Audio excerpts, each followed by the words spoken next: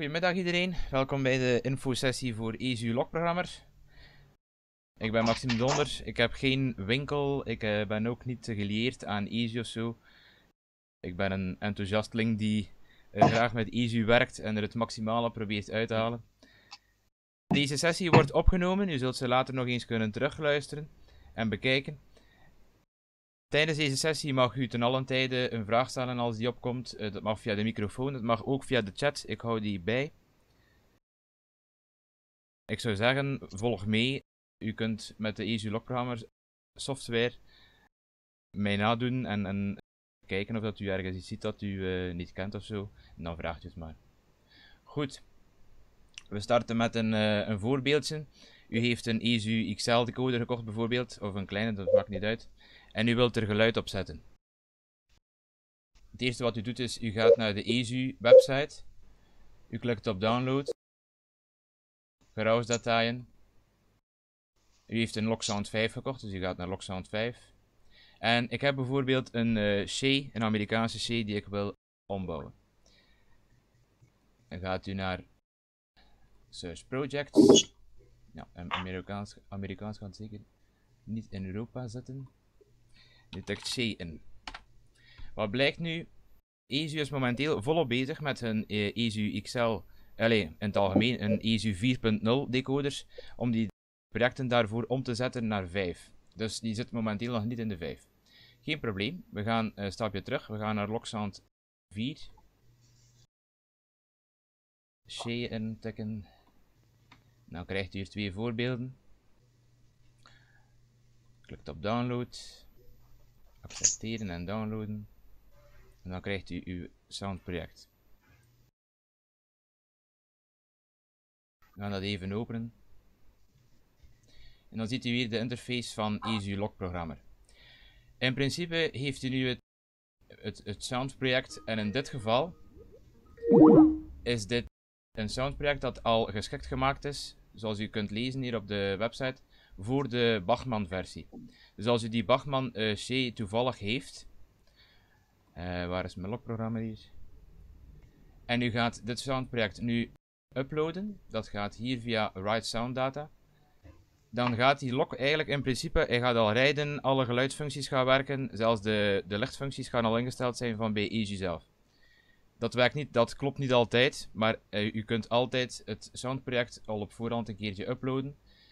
De lichtfuncties zullen dan nog niet juist gekoppeld zijn, maar de motor kunt u al testen, het geluid kunt u al testen enzovoort.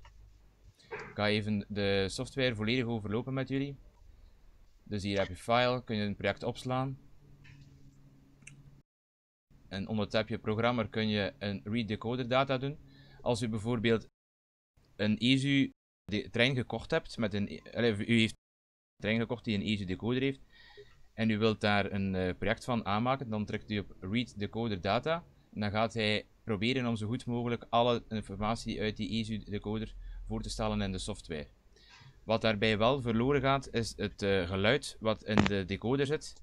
Het gaat niet verloren in de decoder, maar u kunt dat niet aanpassen. Dus dat wordt niet ingeladen in de software.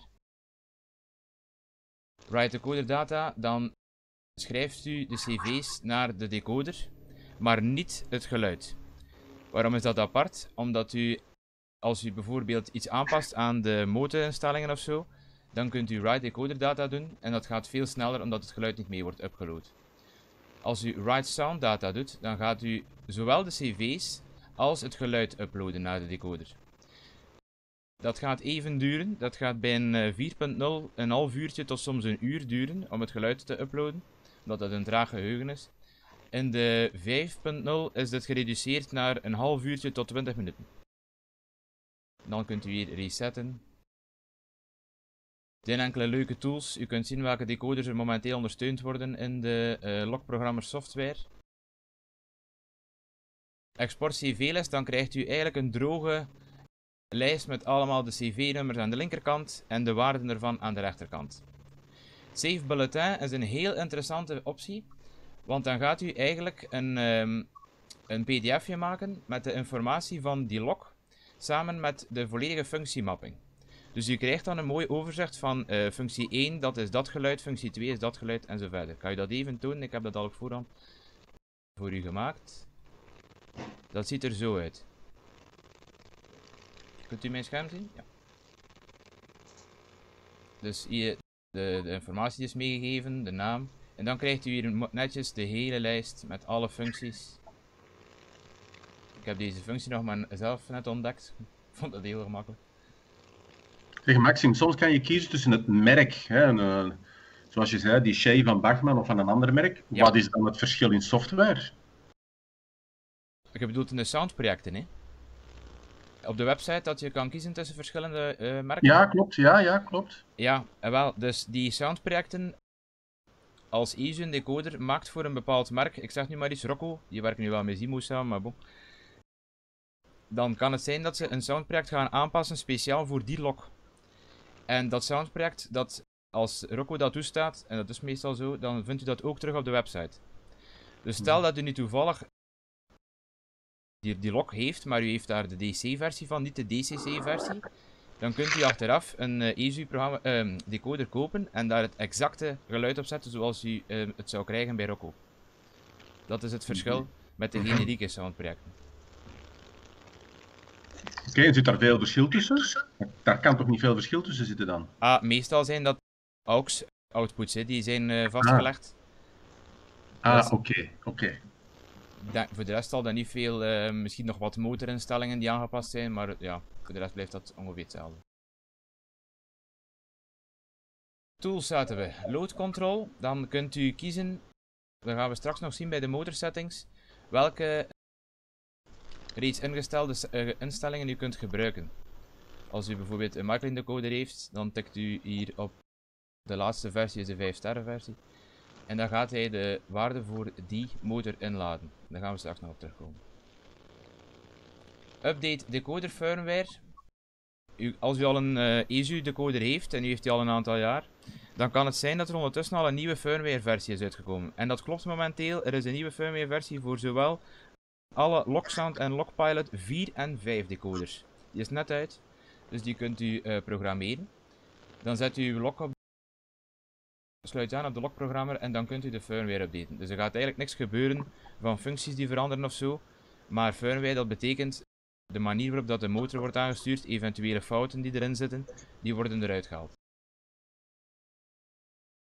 Change decoder type, dat ga ik u straks tonen.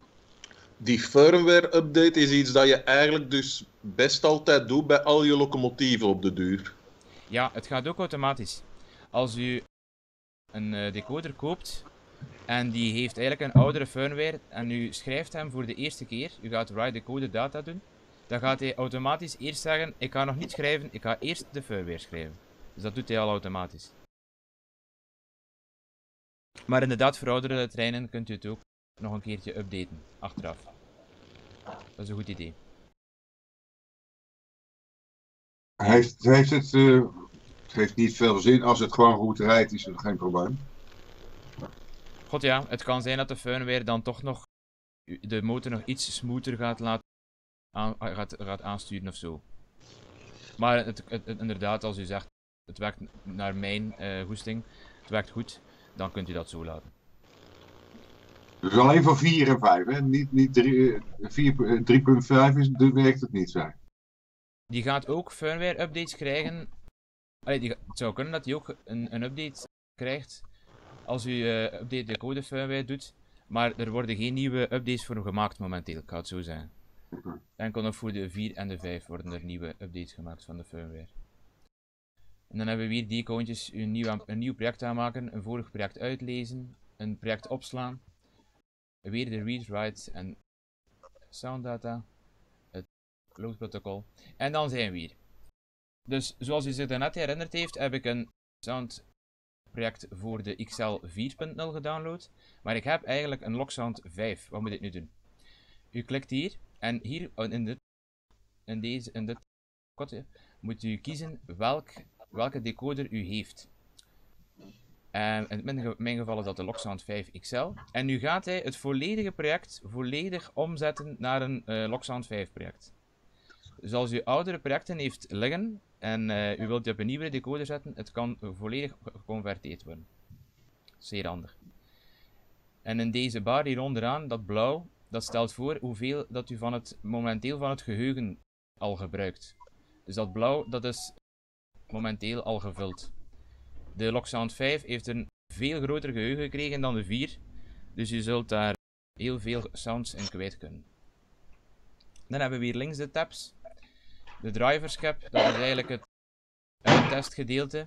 Hier, kunt u, hier simuleren we eigenlijk een centrale en kunt u uw uh, trein uitproberen met lokprogrammer. Pas wel op, lokprogrammer heeft een kleine adapter, die kan niet veel stroom leveren. Dus uh, voor de mensen die schaal G en 1 hebben, als uw lok veel motoren heeft, of een rookgenerator, dan een gepulseerde rookgenerator bijvoorbeeld, dan is het al direct om zeep. Dan gaat, als je op go drukt, gaat hij meteen... Alleen gaat hij direct stoppen en gaat zijn dat er een kortsluiting is. Maar als u uw gepulseerde rookgenerator niet gebruikt en u laat hem traag rijden, dan gaat dat werken. Vanaf een bepaalde snelheid zal het wel kunnen dat hij weer in kortsluiting gaat, maar dan komt het door die kleine adapter. U kunt hier al de functies eens uitproberen. En ook handig, als u een trein heeft waarvan u het adres niet meer weet, dan, dan zet je hem op het spoor. U drukt op go en u klikt op deze, uh, dit vergrootglas. En dan gaat hij zelf het adres voor u geven. Hier kunt u ook instellen welk protocol u wilt gebruiken. Maar ik hoop dat MFX hier niet bij staat. De, de kan geen MFX genereren. U kunt ook wisseldecoders uittesten, dat kan via dit paneeltje. Decoder informatie, een zeer handige tab. U gaat read decoder information doen. En dan komt daar eigenlijk uit wat is de manufacturer ID. Dus dan kunt u eigenlijk zien als u een decoder heeft waarvan u niet weet van wie dat hij is, of welke decoder dat eigenlijk is.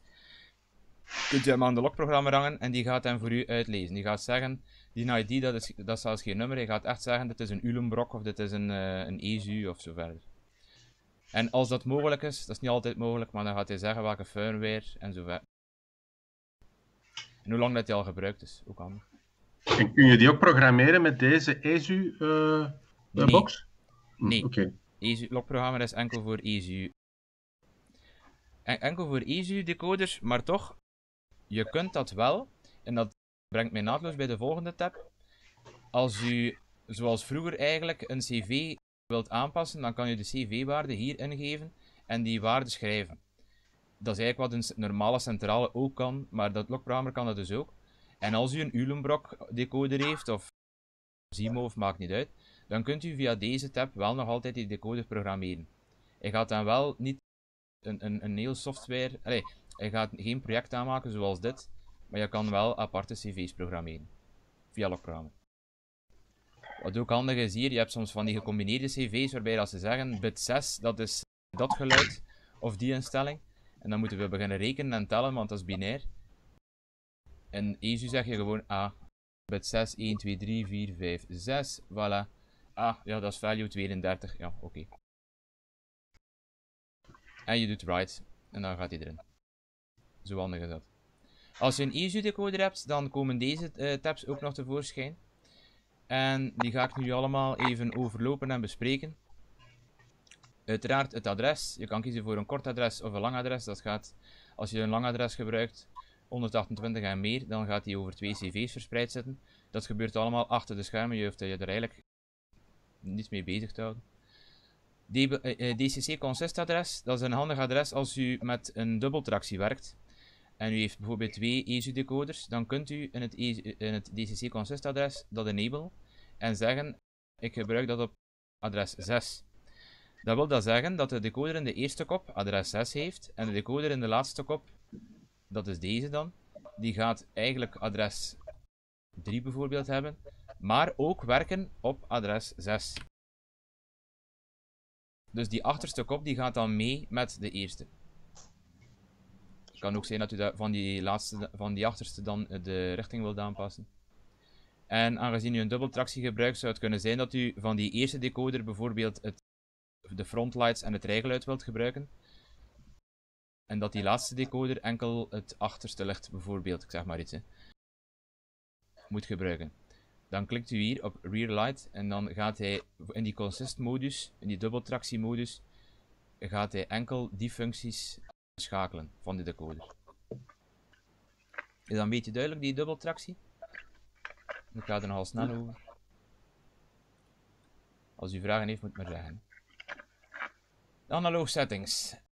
De active functions in analog modus, dat wil dus zeggen als u eh, even zeggen, EasyDecoders die herkennen zelf welk protocol op de baan staat en of u analoog of digitaal rijdt. U hoeft daar geen cv's voor aan te passen, zoals een Massot. Dat gaat van zichzelf. Als u analoog rijdt en u zegt, god, ik wil graag in een analoge modus dat zijn lichtbrand, dat zijn rijgeluid, dat is meestal F1, aanstaat en dat er nog een andere functie dan ook aanstaat, dan kunt u dat hier instellen.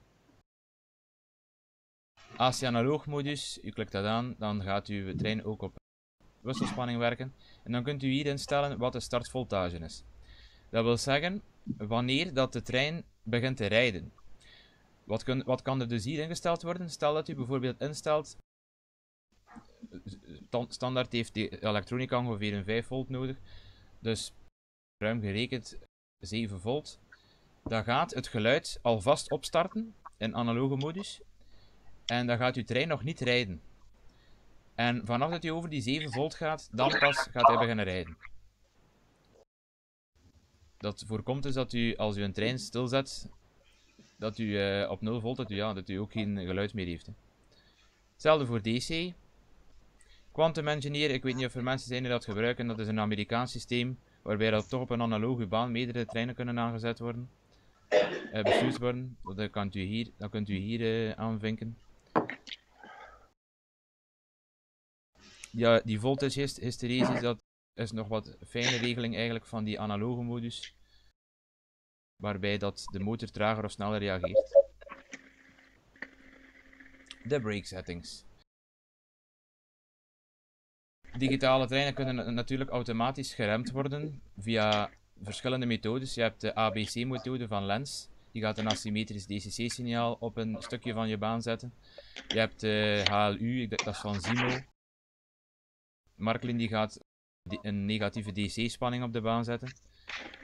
Als u merkt dat die um, ruimsectie niet goed werkt bij u, dat de decoder die niet goed herkent, dan kunt u die, de, de juiste sectie aanzetten en de andere uitzetten. En dan gaat het waarschijnlijk wel werken. Dan Selectrix. Constant break distance, dat is voor de mensen die met een computer werken en uh, waarbij dat nadat het commando gegeven is om te stoppen, dat binnen een vast traject er moet gestopt worden. Bij enable constant break distance kunt u zeggen de afstand die moet afgelegd worden tijdens het remmen is zoveel. Anderzijds kunt u dat ook via een tijd instellen. Hier onderaan. Drive until locomotive stops. Wat brake secties. Nog wat instellingen voor het remmen. Die gebruik ik eigenlijk ook verder niet, niet zo belangrijk. Ja, dan gaan we naar compatibility. Als u SUSI gebruikt, bijvoorbeeld voor andere, op de andere decoders aan te sluiten of om rookgeneratoren, gepulseerde dan, van andere merken aan te sturen, dan kunt u hier die SUSI aanzetten. Indien u een oude LGB, MZS of MTS uh, centrale heeft, dan kan het zijn dat de decoder in zijn geheel zelfs niet gaat werken. Dan moet wel in de CV's dit aangepast worden, dus dan moet u serial function mode F1 tot F8 voor LGB MTS aanschakelen. En dan gaat de decoder terug serieel werken. Dus dan gaat hij geen DCC-ontvangst doen, maar dan gaat hij pulsjes stellen zoals dat vroeger bij MZS gebeurde. Als dat aanstaat, dan gaat je ook met een DCC-centrale niet meer kunnen testen of de lok nog werkt omdat hij geen DCC meer leest op dat moment. Hij kan enkel nog die LGB MZS. Dus vanaf dat dit wordt aangekruist, moet je hem aansturen met een LGB MZS centrale. Voor alle andere protocols geldt dat niet. Hè. Dus als je DCC hebt, of MFX, of Selectrix, dan gaat hij dat automatisch herkennen en moet je niks aanpassen in de CV's. Enkel MZS, omdat dat zo verschillend is, moet dat aangekruist worden. Als u Railcom gebruikt, dat is eigenlijk zoals MFX, dat de, dat de trein informatie terugstuurt naar de centrale. Bijvoorbeeld, wat is mijn snelheid? Bij MFX Plus zeggen ze dan bijvoorbeeld, wat is, hoeveel kolen heb ik nog, hoeveel water heb ik nog? Kan via Railcom en MFX. Dat kan hier aangekruist worden. En Speed Detect Mode, ook weer voor de oudere centrales. Oudere centrales die werken met 14 stappen. Dat kan hier ingesteld worden eh, met hoeveel stappen dat u werkt. Uh, normaal gezien, als u dit aankruist, en dat is standaard ook, gaat hij die automatisch herkennen, die modus en die stappen. Maar ik heb zelf ook al voor gehad, alweer op een oude LGB MZS-centrale, dat dat automatisch herkennen van de stappen toch niet helemaal werkt. En dan kunt u hier dat vastzetten op 14 stappen. Dan het rijgedrag. Hier kunt u instellen, moet de, moet de lok versnellen. Dus als u bijvoorbeeld snelheid 5 heeft en u gaat naar 20, moet die, moet die direct op die snelheid zetten op 20. Of stelt u 20 in en gaat u langzaam de trein laten opbouwen naar die 20. Als u dat wilt, dan schakelt u dat in. En dan kunt u hier instellen wat is de tijd van volledige stilstand tot als u zou draaien naar maximale snelheid, hoe lang moet hij daar dan over doen? Dan, dat stelt u één keer in en dan gaat hij eigenlijk interpoleren en gaat hij bekijken uh, als u geen maximale snelheid instelt, hoe lang dat dan moet duren. En hoe snel dat hij versnelt, de adjustment, die kunt u hier instellen. Hetzelfde voor de stoppen. Als je op uh, een snelheid zit en u drukt meteen op stop, moet je dan meteen stoppen, dan schakelt u dit uit. Moet je even uitbollen zoals in het echt, of uitlopen, dan kunt u dat hier instellen. Reverse modus. Stel dat u, u U hebt zo op uw centrale van die pijltjes. Maxime? ja. Uh, stomme vraag. Die, die een breaktime. Uh, als je op de noodstop drukt, houdt hem daar ook dan rekening mee? Of uh, als, houdt hem dan, allee, als je op de centrale op de noodstop drukt, houdt hij, allee, gaat hij dan die breaktime verder laten doen? Of is het gewoon direct stop dan ook? Gelijk dat ja, bij een noodknop zou moeten als je op de noodstop duwt, dan schakelde eigenlijk het DCC-signaal volledig af naar uw, naar uw baan. Dus je geeft geen stopcommando, dat is iets anders. Ah, oké. Dus wat er in, in, in, werkelijkheid gaat gebeuren is, als je op de noodstop duwt, dan gaat uw trein, in het geval zonder powerpack, direct stilvallen. In het geval met powerpack gaat hij doen alsof er niks gebeurd is en rijdt hij vrolijk verder totdat zijn powerpack volledig leeg is. oké. Reverse direction, dus zoals ik al zei, je hebt op je centrale twee pijltjes vooruit-achteruit. Stel dat je daar een vast systeem voor hebt, het pijltje naar links is achteruit, en blijkt dat die pijltjes omgedraaid zijn, dan kunt u weer reverse direction en dan gaat u de volledige richting van de decoder wijzigen. Dus dat wil zeggen, als u per ongeluk uw motor verkeerd, hebt aangesloten, dan gaat dit niet helpen. Want als u reverse direction aanklikt, dan gaat alles omdraaien, ook de verlichting. Dus u moet nog steeds uw motor omdraaien als u die verkeerd hebt aangesloten. Wat hebben we hier? Forward trimming. Dan kunt u een, um, een waarde instellen waarmee dat er eigenlijk wordt... Wacht hoor, even denken. Ah ja, stel dat u bijvoorbeeld een um, spanning van 24 volt op uw baan hebt en u hebt een trein, misschien heeft u een zelf gemaakt en er zit eigenlijk een motor in die maar op 16 volt werkt dan kunt u hier berekenen welke factor dat u dan moet vermenigvuldigen. Dan kunt u die instellen. Dus zo gaat u de motor een lagere spanning krijgen en dan ook uh, geïnterpoleerd. En hetzelfde voor achteruit. En dan heb je ook de switching modus, dat is wat u kent als rangeermodus in dat traag rijden. En hier gaat hij dat dus ook doen als u switch modus, switching modus aanschakelt gaat hij uh, de halve spanning naar uw motor sturen en gaat hij de, de, trein vertragen. Load adjustment is iets nieuw, dat is eigenlijk voor de Amerikaanse markt dat ze daar uh, heel zot van zijn. En dan gaat eigenlijk de decoder doen alsof dat er een zeer zware sleep achter uw trein hangt. Als u bijvoorbeeld met zware Amerikaan aan het rijden bent en er hangen zeer veel wagons achter, dan kan het zijn dat zijn rijgedrag eigenlijk anders moet zijn, dat hij zeer moeilijk optrekt, als hij afremt dat het zeer lang moet duren. Dat kan hier allemaal ingesteld worden met optional load en primary load. Gearbox backlash, dat is ook een handige optie. Als u als u uw richting omdraait van uw locomotief, dan gaat hij normaal gezien, en u bent op een bepaalde snelheid aan het rijden, dan gaat hij meteen omklikken. Voor uw tandwielen is dat niet vrijleutig. Dus wat doet Gearbox, eh, Gearbox Backlash? Die gaat even de snelheid verlagen naar het, de laagste speedstep die hij heeft ingesteld in de motorsettings. Dus het moment voor, net voordat de richting wordt omgedraaid, is uw motor op, het laagste, op de laagste snelheid aan het draaien. Dat is eh, een enorme verbetering voor uw tandwielen natuurlijk. En in deze instelling kunt u zeggen hoe lang dat hij op die laagste snelheid moet rijden. Voordat hij van richting draait. Dan de powerpack. Hier kunt u instellen hoe lang dat de powerpack eigenlijk een interruptie moet overbruggen. U bent met, een, uh, met seinen van LGB aan het rijden die zo de baan onderbreken ergens. En die tijd is te lang hier, ja, dan kan het zijn dat de lok daar gewoon doorrijdt. Hè? Dat hij uh, niet merkt dat er een stukje onderbroken is geweest. Hier kunt u dan instellen dat die powerpack eigenlijk maar 1, 2, 3 seconden moet duren. Ik zet die altijd maximaal, want ik heb geen analoge bediening van mijn baan. Preserve direction. Als u, maar dat komt eigenlijk bijna nooit voor, als u tijdens het digitaal rijden ineens zou omschakelen op analoog rijden, stel dat u een schakelaar heeft gezet tussen uw baanaansluiting, dan gaat hij, als u dit aankruist, de richting onthouden. Kan hij nooit kwaad. Delay starting if drive sound is enabled. Dat wil dus zeggen, als u een um, dieselgeluid heeft en u hoort bij het rijgeluid dat die motor eerst aan het opstarten is en dan komt hij in continue modus en kan hij rijden. Wel, als u dan bijvoorbeeld eerst uw snelheid instelt en u drukt dan op F1, dan gaat hij wachten met rijden totdat de motor en het geluid dan op zijn toeren is en dan gaat hij mooi synchroon mee opstarten. Dat is niet altijd wenselijk. Kan zijn dat u dat liever niet heeft, dan kunt u dat uitschakelen. En dan maakt het niet uit wat dat geluid daar aan het broebelen is. Uw speedstep die u ingesteld heeft, dat is de speedstep die hij gaat doen. En dan komen we denk ik aan het belangrijkste punt, wat dat iedereen graag gebruikt en wat zo overzichtelijk is bij EasyU, en dat is die function mapping.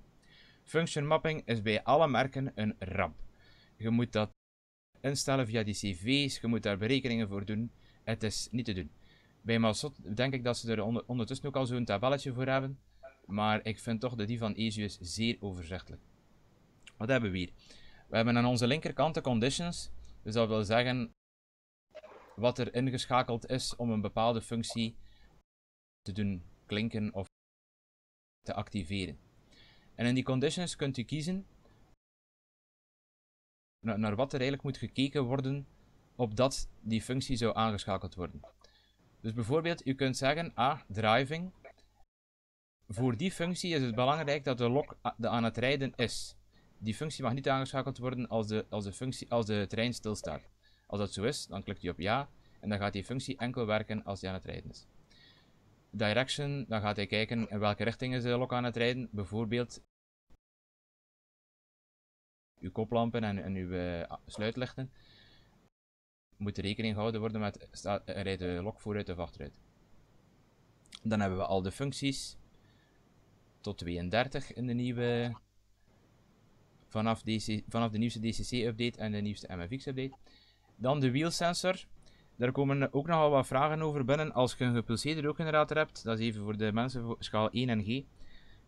Hoe moet ik die aansluiten op een ESU decoder? Want bij andere merken gaat, wordt er een puls gegenereerd. En dat gaat dan naar de, naar, naar de rookgenerator. Maar die rookgenerator die krijgt ook de puls binnen rechtstreeks van de wielsensor. Bij ESU is dat niet het geval. Bij ESU moet de, wiels, de wielsensor aangesloten worden op decoder zelf. En dan gaat aan de hand van die puls die binnenkomt ook het geluid aangepast worden en de, die rookuitstoot. Maar eigenlijk in de functiemapping hoeft u die wielsensor nooit te gebruiken. Dat ga ik u straks tonen, dat gebeurt in een, ander, uh, een andere tab. En dan zijn er nog de sensoringangen, ook zeer leuk voor de mensen die met uh, een tuinbaan rijden bijvoorbeeld. Dat zijn die rietcontacten van vroeger, hè, waarbij dat je een magneet op de baan legt en er een, um, een fluit klinkt of zo.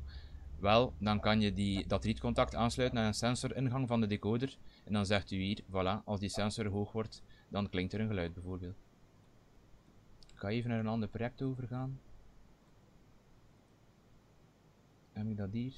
Nee. Ik wil jullie tonen hoe je, als je bijvoorbeeld een deurtje hebt dat open en dicht gaat met een servo, hoe je dat synchroon kunt krijgen met het geluid. Dus ik heb daar een project voor nodig dat zo'n deurtje heeft. Krokodil bijvoorbeeld.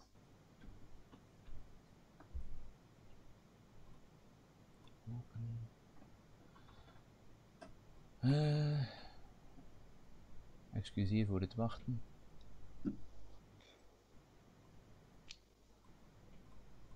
Ja, ik denk dat deze ook wel een goede kandidaat is.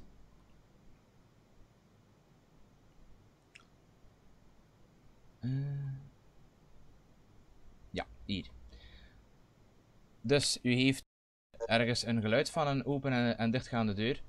Hoe kan ik dat nu synchroon krijgen met die servo-uitgang? Wel heel simpel. U gaat naar de volgende kolom en dat zijn de, de physical outputs en dat wil zeggen de AUX-uitgangen. Dus voor die functie waarbij dat u het geluid aan en uitzet, kiest u dat u de AUX-uitgang waar de servo aanhangt, dat u die meeschakelt met die functie. En zo eenvoudig is dat eigenlijk. Dan gaat, als u het geluid aanklikt, gaat die servo mee bediend worden. Logische functies, dat zijn softwarematige functies waarbij dat er een bepaald gedrag van de decoder wordt aangezet. Acceleration bijvoorbeeld, dat is wat ik daarnet aantoonde, eh, die als je de trein laat stoppen op de laatste speedstep, op speedstep 0, dat hij nog even uitbolt. Dat uitbollen of uitlopen, dat kunt u aan en uitzetten hier via acceleration. Switching mode, dat is dat, die rangeersnelheid. Dynamic break, ook leuk. Dan gaat u eigenlijk een functie creëren. En als u op die functie tikt, dan gaat uw lok automatisch remmen. Dus als die functie hoog wordt, dan gaat hij dynamisch remmen. Zonder dat u de speedstep verandert.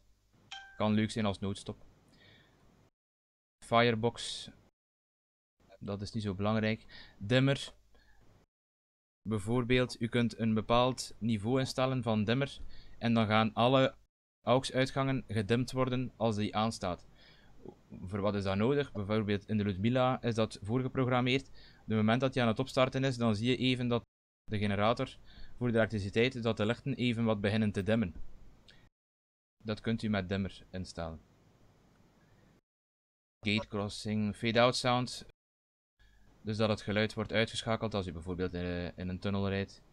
Diesel notch, dat is voor dieselprojecten, dat is eigenlijk ook weer voor de Amerikaanse markt vooral. Shift modus, ook voor in bepaalde soundprojecten gaat u met shift modus ook dat doen alsof dat er een zware load achter uw trein hangt. Dat kan zijn dat dat via die shift modus geprogrammeerd is. ESU Smoke Unit, als u een uh, gepulseerde rookgenerator heeft van ESU, dan gaat u op, uit mijn hoofd, op AUX 1, gaat u de decoder moeten aansluiten en gaat u dan moeten aankruisen dat dat een ESU Smoke Unit is. Volume Control is echt een zeer leuke functie, want dan kunt u uw volume aanpassen zonder dat u daaraan een potsmeter moet zitten draaien aan uw lok, maar gewoon door dubbel te klikken op uw functie gaat u het volume aanpassen. Dus hoe werkt dat? ik heb hier nu bijvoorbeeld functie 24. U zet functie 24 even aan en terug uit. En dan gaat hij één stap, namelijk een vierde 25%, aan het geluid toevoegen. Dus stel, u, u zit op een geluidsvolume van 25% eh, en u doet één keer die F24 aan en uit, dan gaat hij naar 50%. U doet dat nog een keer, u gaat naar 75%, u doet dat nog een keer, u gaat naar 100 en dan gaat hij van 100 terug naar 0 vallen. De 25, excuseer. Dat is een zeer handige functie. Disable break sound, als hij remt, dat dat, uh, dan kunt u dat uitzetten, dat geluid. Een coupling cycle, ook interessant. Als u een automatische koppeling heeft, kunt u via een logische functie eigenlijk instellen dat als u die functie aanzet, dat de lok even achteruit gaat duwen, even gaat wachten en terug vooruit gaat rijden, een klein stukje. Dus u moet dan niks veranderen aan de speed steps. U zet gewoon die functie even aan en dan gaat de lok automatisch ontkoppelen. Ook hier weer heavy load modus en coast modus. Dat zijn die... Nee, enkel heavy load. Dat is voor de simulatie van een zware vracht. En dan hier de sounds. Hier kunt u uit de sound slot kiezen welke sound u gaat aansturen met die functie. Dat was de functiemapping. Zijn daar vragen over?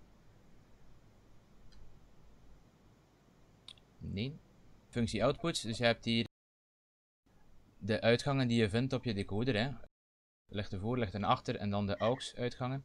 Je kunt die een naam geven, dat is handig om later in een soundproject te gebruiken of in uw functiemapping.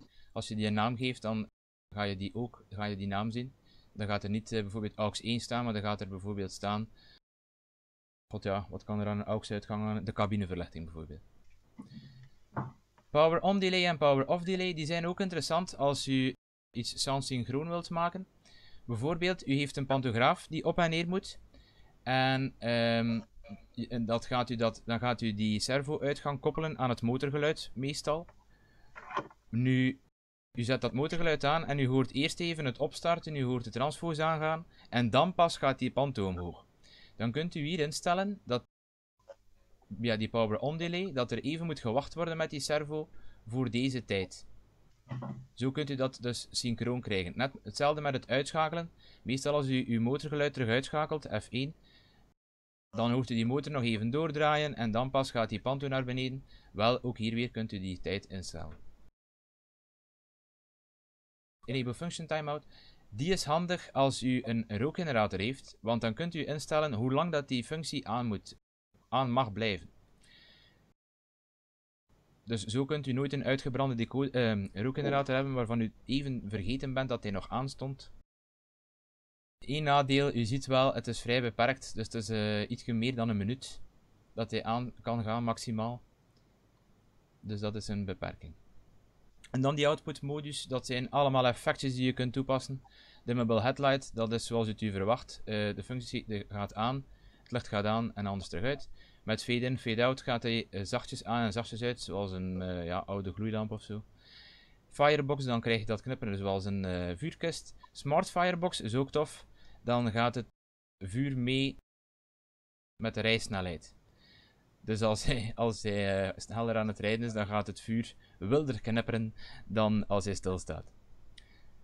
Dan single strobe, double strobe, rotary beacon, dat zijn allemaal verschillende lichtfuncties voor Amerikaanse terreinen. Dat zijn van die lichtseinen die worden gegeven in Amerika. Die kunnen hier allemaal geselecteerd worden. Oscillating headlight, en dan krijg je nog een zwaailampje. Ah ja, het is enkel van die Amerikaanse. Neon light, dan krijg je, ik zal het even tonen. Dan kun je hier instellen hoe fel dat moet zijn. En dan krijg je een start-up time, dus dan gaat hij even knippen voordat hij constant blijft branden. Low energy light is een spaarlamp. Single strobe, brake lights. Smoke unit is een instelling die je nodig heeft als je een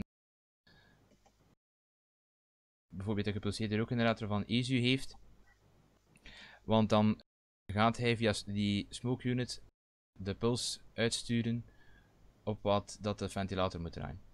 Ventilator is iets dat als u in een diesel bijvoorbeeld ventilatoren, echt letterlijk ventilatoren gaat inbouwen en u wilt die doen draaien, dan kunt u hier kiezen hoe snel moet die ventilator draaien en ook hoe snel moet die optrekken. Dus zo kunt u simuleren dat een grote ventilator heel langzaam op gang komt. Want het probleem is met die kleine ventilatortjes voor een modelbouw dat die bij het minste al vol een bak op volle snelheid aan het draaien zijn. En dat kunt u hier aanpassen. Seute Smoke Unit. Als u een rookgenerator heeft van Seute, dan kunt u instellen hoe warm dat die moet zijn. Dus als de locomotief stilstaat, kunt u bijvoorbeeld kiezen dat hij minder hard rookt. En zo gaat u natuurlijk rookolie besparen. Dan dat hij aan het rijden is. En tijdens het rijden kunt u ook kiezen hoeveel moet hij minimaal zijn, de warmte. En hoeveel mag hij maximaal zijn. En dan gaat ESU daar weer tussen interpoleren en gaat hij dat aanpassen naar gelang de snelheid. Dat werkt ook zeer goed, ik gebruik dat ook vaak. Trigger Smoke Chef is ook weer zo'n output modus voor uh, gepulseerde rookgenerators. Hoe je een, rook, gepulseerde rookgenerator moet aansluiten, ik verwijs daarnaar de handleiding die daarbij is toegevoegd en daar zit een heel stuk bij over hoe je dat moet programmeren in Logprogrammer. Dus ik ga dat voor de rest niet uh, uitdiepen. Dat staat daar echt met screenshots in uitgelegd, dus dat is duidelijk. Coupler Force, als u een digitale koppeling voor H0 gebruikt, dan kunt u hier instellen hoe sterk dat die magneet moet aantrekken. Dat is bijvoorbeeld, god wat is dat merk nu ook alweer van die digitale koppeling? Croix. Croix die gebruikt zo van die magnetische koppeling. Servo Power, als u een uitgang wilt gebruiken om gewoon 5 volt te geven voor een servo of voor iets anders dat op 5 volt draait, dan kunt u hier servo kiezen en dan gaat die, die AUX uitgang gewoon een, een, een uh, constante 5 volt geven. Zijn er vragen over de functie-outputs? Nee. Wie heeft, Alles wie heeft misschien iets opgemerkt? Ik heb hier alle output-modussen overlopen en er stond geen servo bij. Dat is nu wel Ah, je curieus. hè. Ja, hè. Wel, die servo's die zitten toegespitst op een bepaalde uitgang. En dat is meestal de laatste vier. Dus ook als je een eh, ESU XL decoder heeft, dan in de handleiding, vroeger stond er nog bij servo 1, dat komt overeen met die aux modus, maar in de nieuwste handleiding is dat eruit gehaald. Denk eraan dat die laatste vier outputs, dat dat de servo uitga- uitgangen zijn. En hier Wacht hoor. Ja, zie je? Servo output. En hier zijn die instellingen voor de servo. Die duration of speed, dus dat is de snelheid waarmee dat de servo van de ene positie naar de andere gaat. Dat was in de 4.0 versie, was daar maar één snelheid. Dus hij ging even snel vooruit als achteruit. Dat is sinds 5.0 opgesplitst in 2. Dus je kunt zowel het positie naar A als, positie, als eh, de snelheid naar B instellen. En in positie A en B gaat u dan de, de, de waarden instellen voor de uitslag van de arm van uw servo. Een tip daarbij is, zet ze nooit op deze manier, dus volle, eh, de, de, de, de volle range wil dit zeggen. Want uw servo's eh, kunnen dan op die uiterste posities jitter vertonen. Dus dan gaan ze beginnen trillen, omdat ze die uiterste waarde niet halen. Bij digitale servo's komt dat minder voor. Bij analoge servo's ga je dat waarschijnlijk wel hebben. En zeker bij van die goedkope AliExpress servo's. Dus je gaat beter die waarden een klein beetje indammen. En wat ook zo is, een keer als je die servo hebt ingebouwd en blijkt achteraf van god, die positie zou toch nog een klein beetje moeten aangepast worden, dan hebt u hier ook nog een beetje speling. Function settings. Dan krijgen we eigenlijk een paar, hier toch in het begin, interne instellingen waar u eigenlijk beter afblijft als ik, als ik eerlijk ben. Dus de frequency for blinking effects. Dus dat is de interne puls die wordt gegenereerd voor het knipperen van lampjes en zo. Daar blijft u beter af, dat staat goed ingesteld. Sensor configuration. Het heeft ook niets te maken met een, een externe wielsensor die is aangesloten. Dat is niet hier in te stellen. Ook hier blijft u beter af. Die automatische ontkoppeling die ik daarnet zei, die kan hier worden ingesteld. Dus die speed, de snelheid waarmee dat uw trein achteruit gaat rijden, kunt u instellen. De tijd dat hij achteruit gaat rijden, de tijd dat hij even gaat wachten en de tijd dat hij terug vooruit gaat rijden. En dan sinds de V5-update hebben we nu ook random functions. We hadden vroeger in decoders van ESU al lang dat de omgevingsgeluiden ik denk maar aan een, eh, een compressor of zo die even aan en uit gaat. Dat zat er al in, maar dat was gedefinieerd als een, als een soundslot. Hier. En je kon er eigenlijk weinig aan veranderen. Nu kan je je eigen geluiden of een, een geluid dat u zelf gekozen heeft, kunt u random aan en uitzetten. Hoe doet u dat? Dus je hebt zo acht van die random eh, generators. Je kiest bijvoorbeeld, ach, dat geluid moet dat random afspelen als hij stopt of als hij rijdt, of allebei. Dan kiest u dat hier. Het kan zijn dat random geluid enkel moet werken als het motorgeluid aanstaat, de driving sound. Dan kiest u dat hier. En dan gaat u zeggen, ach, welke functie moet er nu random aangestu- aangestuurd worden. Dus hij gaat op een willekeurig moment, gaat hij die functie een keer aanroepen en terug uitschakelen. En dan kunt u hier kiezen uit alle functies, alle 32. Hier kunt u dan instellen hoe lang moet die functie aanstaan. Active minimum en maximum. Passive wil zeggen hoe lang, hoeveel tijd moet er tussen zitten. Identification, maar eh, ik, ik zou eigenlijk eerlijk gezegd niet weten wat dit is, eh, dus ik ga hier ook over gaan. Manual CV input, dus hier kun- kunt u nog een keer zien al die CV's en hun waarden. Ook handig als de, als de handleiding zegt, ah, die, de CV dat u daarvoor moet aanpassen is CV, zeg maar iets 28. Dan kunt u een manual CV input even kijken, ah, die heeft momenteel waarde 131.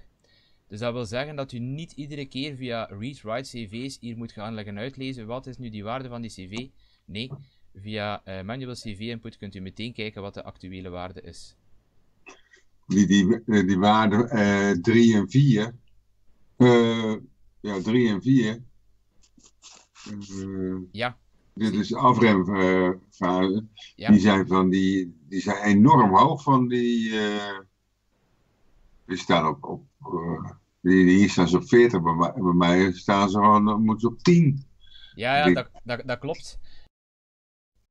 De afremtijd voor de C die is zeer lang, omdat dat een locomotief is waar altijd zeer zware slepen achter hangen.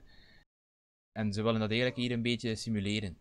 Dus die locomotief had altijd veel tijd nodig om uit te bollen of uit te lopen. En, en die trok ook langzaam op. Maar, en de CV6 is die gewoon vertrokken? Dus die komen niet meer terug. Vroeger was eh, 4 had je nog 7, 6. Ja, dat zie ik hier ook inderdaad. Ja, er zijn nog CV's die ervan tussen zijn. CV20. Die zijn gewoon vertrokken. Dus je krijgt die curve, eh, kan je dus niet slecht eh, veranderen. Ah ja. Ja, ik had ervan gelezen dat dat een bug was in de vorige lokprogrammerversie. En dat die eruit gehaald was. Maar blijkbaar in deze lijst zit hij er nog in. Ik Ja. had ook eens een vraagje eigenlijk. Ja, zijn er geen. Ah, Wel, als je je remtijd lang zet bijvoorbeeld, dan gaat je lok lang uitlopen. Hè? Ja, Maar als je dan bijvoorbeeld een lok met sound hebt, en Ja. die begint te, remmen in feite, ja, dan gaat die remmen gaan piepen. Maar hoe langer dat je uitloopt, ja. des te meer dat je lok gaat piepen. Die gaat drie, vier keer achter elkaar zijn piepende remmen la- laten werken in feite. Hè? Kunt je daar iets aan doen dat dat eventueel eh, ingeperkt wordt? Eh, wel, normaal gezien gaat hij niet meteen beginnen piepen. Dus hij gaat beginnen afremmen tot een bepaalde snelheid. En vanaf een bepaalde ingestelde snelheid, en dat kunt u in het. Dat, dat is een setting die, moment, die straks nog aan, pas- aan bod gaat komen. Ja. eh, kunt u instellen vanaf wanneer dat hij gaat beginnen piepen. ah, oké. Dus het wil niet ja. zeggen, omdat de tijd vooraf te remmen, ik zeg maar eens 10 seconden, is dat hij ook effectief 10 seconden gaat piepen. Hij gaat waarschijnlijk piepen in de laatste 3, 4. Ah, oké. Ja, ja, ja, ja. Dan zitten we bij de motorsettings. En het, het gaat hier al over die motor, over die curve. Je kunt een curve gebruiken, dus typisch, de curve die gaat meegeleverd zijn, is de curve zoals die ook prototypisch van die trein was. ESU houdt zich daarmee bezig om dat allemaal in te stellen. En u ziet hier bij de C dat dat een, nogal curieus verloop heeft. Zegt u nu zelf, ja, in mijn tuin is het eigenlijk ha- handiger dat ik eh, een lineaire curve heb. Ik, heb dat, ik prefereer dat ook eigenlijk. Dan kunt u lineair kiezen. U kunt ook per, van iedere stap kunt u kiezen welke waarde die eigenlijk moet hebben. Dus u kunt een volledig eigen verloop daaraan koppelen. Vroeger kon je het kon je hem trekken. Kon je eh, kon een bepaalde curve erin in- zelf niet trekken. Maar dat, Dat is steeds. U Ja. kunt, er, u kunt trekken, ja. ja, maar het is. Dat- dan toch, ja, wat je nu trekt, eh, en- enorm. Maar dan was het een, je een verloop erin zetten. Maar, Ja, je kunt dat nu ook, maar ja, meld, meld die tussenpuntjes. ja, Ja, inderdaad, nee, maar dat is iets dat in de, in de software eh, niet klopt. Dat klopt. Ja. Dat moet aangepast worden. Ik denk dat dat een bug is dat er momenteel in zit. Ja, en dan komen we bij de fameuze load control. Hè. Dus als u een, een soundproject heeft ingeladen in de decoder, probeer, ik zou zeggen, schrijf het eens, hè, load het eens op en kijk of die, of die motor goed werkt. Als die motorinstellingen goed zijn, laat ze zo. Als blijkt dat die, die presets die, voorge, die voorgestelde waren, dat die toch niet goed zijn, ja, dan gaan we moeten beginnen aanpassen. Regulation, ik ga ze nu allemaal beginnen overlopen. Dus de regulation reference, dat is, dat is eigenlijk de spanning die je gebruikt in 10, waarop dat hij de pulsen gaat. Dat is eigenlijk de top van de pulsen. Eh, Hoe kunt u dat nu eigenlijk zien, die regulation reference, hoe je die moet instellen? Als u uw snelheid opdraait en u merkt dat bijvoorbeeld van de 128 stappen, dat bij snelheid 50 uw lok al op eh, maximale snelheid aan het rijden is, dan moet u de regulation in reference aanpassen. Anders moet u er eigenlijk nooit aankomen. Regulation parameter K, dat is eh, iets uit de regeltechniek. Dat is eigenlijk de sterkte waarmee dat u decoder. K die bepaalt de sterkte van de regeling. En I die bepaalt hoeveel tijd dat eh, moet duren. Wat wil dat nu eigenlijk zeggen? Als u aan het rijden bent en u gaat een helling op en u merkt dat die locomotief eigenlijk net als een analoge locomotief begint te vertragen. Dat wil dat zeggen dat bijsturing niet groot genoeg is. Dat is K. Dus dan moet u de K aanpassen. Wat is nu I? I dat vertoont zich meestal bij het stoppen. Als u gaat stoppen en u merkt dat uw locomotief nog een kleine sprong vooruit of achteruit maakt, dan uh, is dat de I, dat is eigenlijk de traagheid van uw motor, die moet aangepast worden. Als uw uh, motor, een, als u eigenlijk een grotere motor heeft uh, qua fysieke oppervlakte, dan moet die anders zijn dan voor een zeer klein motortje. Dat is eigenlijk de traagheid waarmee dat de motor zich aanpast. Dan hebben we hier K-Slow. Dat is eigenlijk nog een aparte gain control voor als u vanaf een bepaalde waarde die u hier kunt instellen, vanaf een bepaalde speedstep gaat rijden. Dus onder de 30, speedstep 30, gaat hij overschakelen van deze K naar deze K.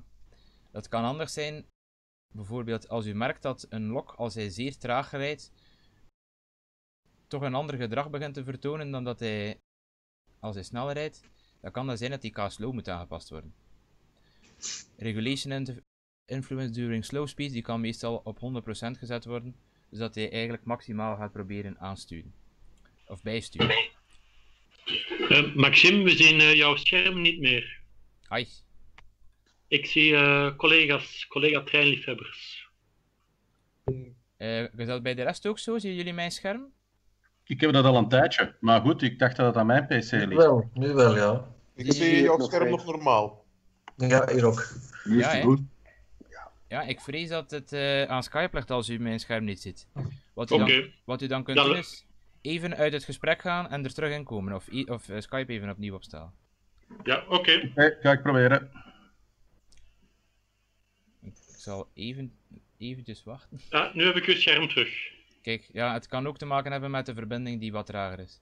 Ja, Dat oké. mijn beeld niet doorkomt. In de 4.0 zat er ook nog een e-slow. En die was eigenlijk zeer handig, want dat vooruit en achteruit springen, ja, dat was meestal de e-slow die moest aangepast worden.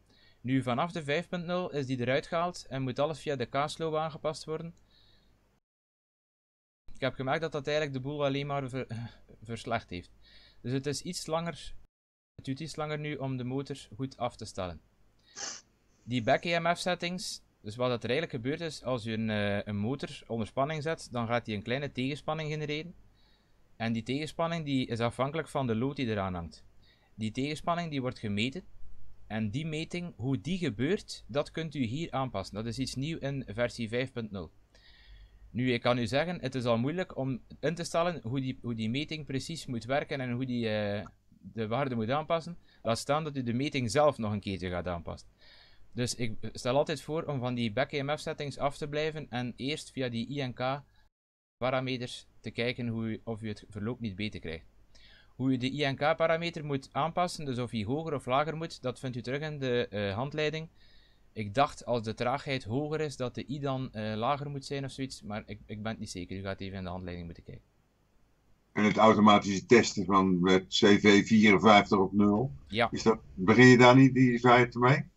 Ja, dus dat is ook een optie. U kunt CV54 op 0 zetten. U zet uw lok op een spoor van ongeveer 1 meter. Dat is, het gaat wel over H0. Let op voor de G-liefhebbers, we gaan een serieus traject moeten aanleggen. dan. En dan ga- zet je dus CV54 op 0. Je gaat naar de drivers cap. En dan ga je F1 aan. Je, gaat op, je drukt op go en je zet F1 aan. En dan gaat hij een sprong naar voren maken. En dan gaat hij automatisch al die, die instellingen hier, K-slow, E-slow en zo verder inladen.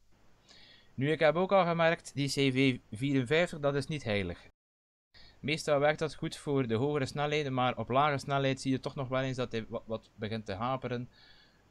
Wat, be- wat begint te jitteren. Of dat hij toch nog een kleine sprong maakt bij stoppen. Ja, dan gaat u toch nog even moeten verder zoeken met die I-meter en die K-parameter. Maar zoals het u zegt, dat is een goede opmerking. CV54, dat is een heel goed startpunt. Dan gaat hij Mhm. toch al het meeste in orde zetten. Motor overload protection. De naam zegt het, hè. Als uw motor zeer vervuild is, bijvoorbeeld, dan gaat hij hogere stroom beginnen trekken, omdat, er, eh, omdat het van binnen vol met koolstof hangt. Bij andere decoders zou het dan kunnen zijn dat na een tijdje, als de stroom te hoog wordt, ja, dat de uitgang opgeblazen wordt. Dat is nogal gebeurd. Bij ESU is het beveiligd, dus dat kan niet als u dit aankruist. Het kan ook zijn dat u zegt, ik weet op voorhand dat die motor ongeveer, spreek nu voor schaal G, 1 ampère gaat trekken bijvoorbeeld. Dan kunt u hier die limiter instellen.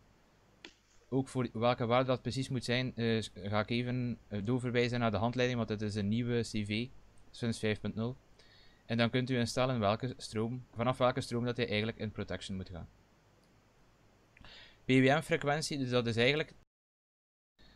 U heeft dat waarschijnlijk wel al lang door, maar een, een decoder die geeft geen gewoon DC-signaaltje aan de motor. Die gaat iets zoals dat hier getoond is, die gaat pulsjes sturen. En hoe snel dat die pulsjes achter elkaar volgen, dat kunt u hier instellen. Normalitair is hoger beter. Dus vroeger, ik denk dat bijvoorbeeld Masot decoders die werken op 20 kHz, ESU standaard 40. 40.000, maar de laatste jaren, eigenlijk vanaf versie 5.0, is zelfs 50.000 hertz al mogelijk. Nu, eerlijk gezegd, ik vind dat op 40.000 het verloop al zeer smooth is en zeer zacht is, dus op, u mag dat op 40 laten staan. Als u wat wilt experimenteren met nog een hogere frequentie, kan dat. In principe kan dat uw motor nog, uh, nog zachter en nog fijner uh, aansturen. In dat is vooral van belang bij ijzerloze ankermotoren. Ja, als dat V-Laber of Maxon motor of Portiscap is. Dan is uh, 40 kHz uh, en 50 kHz dikwijls noodzaak. Maar bij een klassieke motor, uh, 5 à 10 kHz is al uh, zeker voldoende. Ja. En ook als u hoort dat uw trein een vervelende brom maakt, eigenlijk, uw motor een brom aan het maken is, dan kan dat ook aangepast worden door die PWM wat hoger te zetten. Mm -hmm. Ja. Automatic parking brake, ik weet niet, kent er iemand die functie? Nee. Wel, ik heb ze ook moeten opzoeken. Stel dat uw trein op een helling staat en u zet hem uh, op speedstep 0. Ja, in principe, als daar een zeer zware lood achter hangt en de helling is nogal steil, gaat uw uh, trein achteruit rijden. Hè. Automatic parking brake gaat een kleine stroom door uw motor sturen, zodanig dat hij niet gaat beginnen rijden, maar dat hij ook niet gaat beginnen draaien. Dus uw trein gaat gewoon stil blijven staan. Dat is een zeer handige functie, vind ik. Terwijl dat niemand hem kent, kent hem ook niet. Vragen over de motorsettings en instellen van een motor. Nou, ik heb een sinusmotor, maar dat schijnt toch altijd wel een probleemgeval te zijn. Ja, dat is inderdaad een heel ander systeem, want sinus die hebben nog een, een, een eigen aansturing. Dus hier, die, die PWM die gegenereerd wordt, die C-sinusmotoren, die, dat zijn eigenlijk stappenmotoren. Dus dat werkt niet als een gewone DC-motor. C-sinusmotoren hebben dan ook een klein stukje printplaat nog voor de motor zitten, die die stappenmotor aanstuurt. Maar ik heb wel gelezen dat dat printje van Marklin, dat u dat dan wel weer kunt aansturen via de ESU-decoder. Ja, eigenlijk is het geen stappenmotor, maar een brushless DC-motor. Dat is die sinusmotor. Dat was de laatste, dat, dat, is de laatste versie al, maar de eerste uh, sinusmotor, die C-sinussen, dat waren echt stappen. Uh... Ah ja? Ja, dat was dat systeem. Met die grote klok, hè. Ja. Want ik weet dat Maxon Motor heeft die geleverd aan Merklin en dat waren DC brushless motoren. Ja. Oké, okay, ik weet niet het ganse begin. Ja, er zit eigenlijk... Ja, het is nogal moeilijk uit te leggen, maar de, de, op de as zit een, uh, zit een magneet. Maar die magneet die, die is ook nog een keertje uh, uh, verwrongen eigenlijk. Om een uh, speciaal, zeer goed traag verloop te krijgen. En dan rond die magneet zitten er meerdere spoelen. En die meerdere spoelen die worden dan aangestuurd zoals eigenlijk een stappenmotor. Maar het is een, het is een curieuze evolutie van Marklin. Dat waren eigenlijk de beste sinusmotoren die ooit, uh, de, de, de, beste motoren die ooit gemaakt zijn voor medaalbouw. Die gingen zeer uh, traag, zeer goede specificaties. Maar het probleem was volgens een uh, man van Marklin, want ik heb daar vragen rond gesteld omdat ik daar een uh, geïntegreerde proef rond gemaakt heb. Blijkbaar hadden die een zeer slecht, hadden die zeer slechte eigenschappen op DC of op AC. Als mensen die analoog aanstuurden, dan draaiden die motoren zeer slecht. En daarom is er toch gekozen om uh, geen sinusmotoren, of toch zo weinig mogelijk, in nieuwe modellen te steken. En ze zijn ook duurder, hè. De aansturing is duurder, de motor is duurder. Maar ik, heb er, ik heb er een die nou, dat, uh, slecht, uh, het rijdt heel erg slecht. Of twee eigenlijk. Ja, ik moet, ik moet eerlijk zeggen, ik heb ehm, enkele loks met eh, sinusmotoren en die, die zijn allemaal zeer, zeer eh, goed. Maar ik gebruik wel de, de oorspronkelijke Marklin-sturing. Ik weet niet of u dat... eh, Ja, dat oorspronkelijk. Ik heb nu alleen de Easy erop gezet. Ja. Ik denk, nou, misschien kan hij hem nog beter regelen als de Merklin. ja, Maar hij, eh, vooral in het middengedeelte varieert hij enorm. ja, kan je moeilijk... eh, dat is die EMF die slecht ge- gemeten wordt. Hè. Ja. Dan gaan we verder, denk ik. Hè. Easy Smoke Unit. Dat is enkel voor de mensen die met schaal 0, 1 of G rijden. En die een Easy smoke, gepulseerde Smoke Unit hebben. Dan kunt u in deze tab instellen welke tijd de, eh, eh, de rookgenerator moet roken vooraleer dat die automatisch wordt afgeschakeld, dus vooraleer dat die leeg is. Fan speed trim en temperature trim. Stel, u bent met uw trein aan het rijden, die, de waarden waarop dat die rookgenerator moet puffen, die zijn al voor ingesteld door ESU. Maar het blijkt dat eigenlijk over de algemene lijn vindt u dat er te weinig rook wordt geproduceerd. Dan kan u, dan kan u de temperature trim aanzetten, dan kan u die hoger zetten. En dan gaat hij voor alle waarden van die temperature voor uw rookgenerator, gaat hij die allemaal verhogen met die factor. Waarom zeg ik dat op die manier? Het kan ook zijn dat u vindt dat enkel bij stilstand bijvoorbeeld er te weinig rook is, en dan moet u dat wel gaan aanpassen in het geluid. Maar die trim, die doet telkens iets voor de volledige, voor alle waarden, voor de volledige range. Hetzelfde met, met de fan, dus als u vindt dat er eh, de, de rookuitstoot niet krachtig genoeg is, dat, hij harder moet dat er harder moet gepufft worden, kunt u dat met die fan aanpassen, fan trim. En preheating temperature, dat is eigenlijk voor de, de rookgenerator al op, stoom te brengen, al, op, al op temperatuur te brengen voordat hij gebruikt wordt. Ik moet eerlijk zeggen, die functie dat is voor secondary smoke units en ik weet eigenlijk niet hoe die precies werkt, want voor als u daar een gewone rookgenerator op aansluit, merk ik dat dat niet werkt, dat. Er is iemand een feedback loop aan het maken, dus dat wil zeggen dat uw eh, microfoon te dicht bij de luidspreker staat. Waarschijnlijk een laptop. Eh gelieve dan uw eh, microfoon uit te zetten of het volume wat te verlagen. Dank u wel. De smoke chuffs.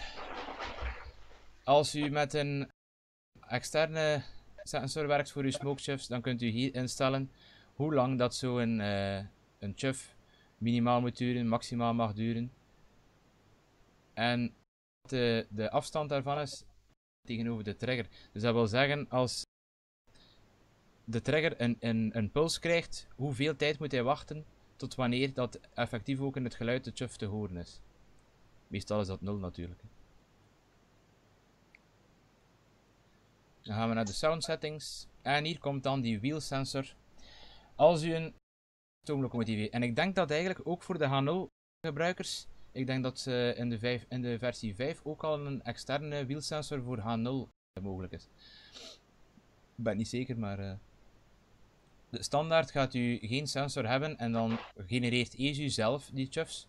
Als u een externe sensor heeft, dan kunt u dat hier aanvinken. En dan kunt u zeggen hoeveel impulses er moeten binnenkomen vooraleer dat er een chuff gegeven wordt. Dus kan, dat hangt af van hoeveel magneten dat er op uw as zitten. En hoe, of, eh, ja, dus als er maar twee magneten op zitten of dat er vier op zitten, dan gaat u dit moeten aanpassen. Minimal distance, dus dat wil zeggen als eh, de snelheid van de lok zeer groot is, dan kan het zijn dat u, ja, dat dat chuffen, dat dat eigenlijk niet meer mooi klinkt, dat dat zeer computerachtig, robotachtig klinkt.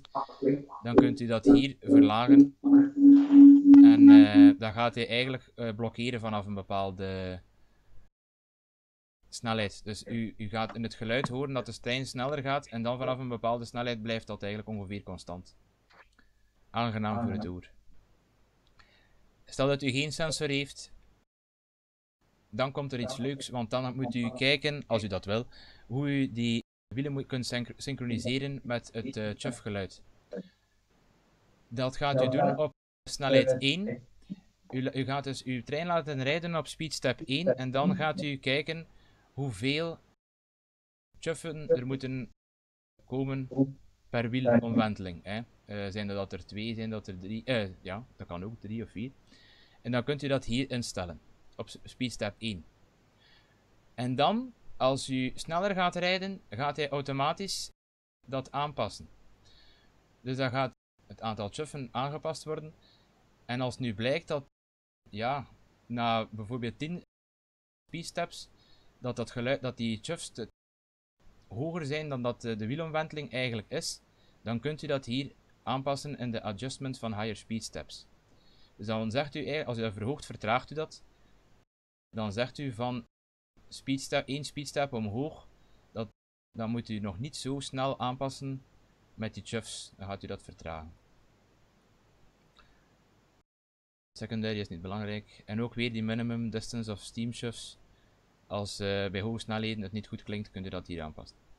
Master volume is echt een volledige volume van uw volledige decoder. Dus alle functies die eronder liggen, rijgeluid,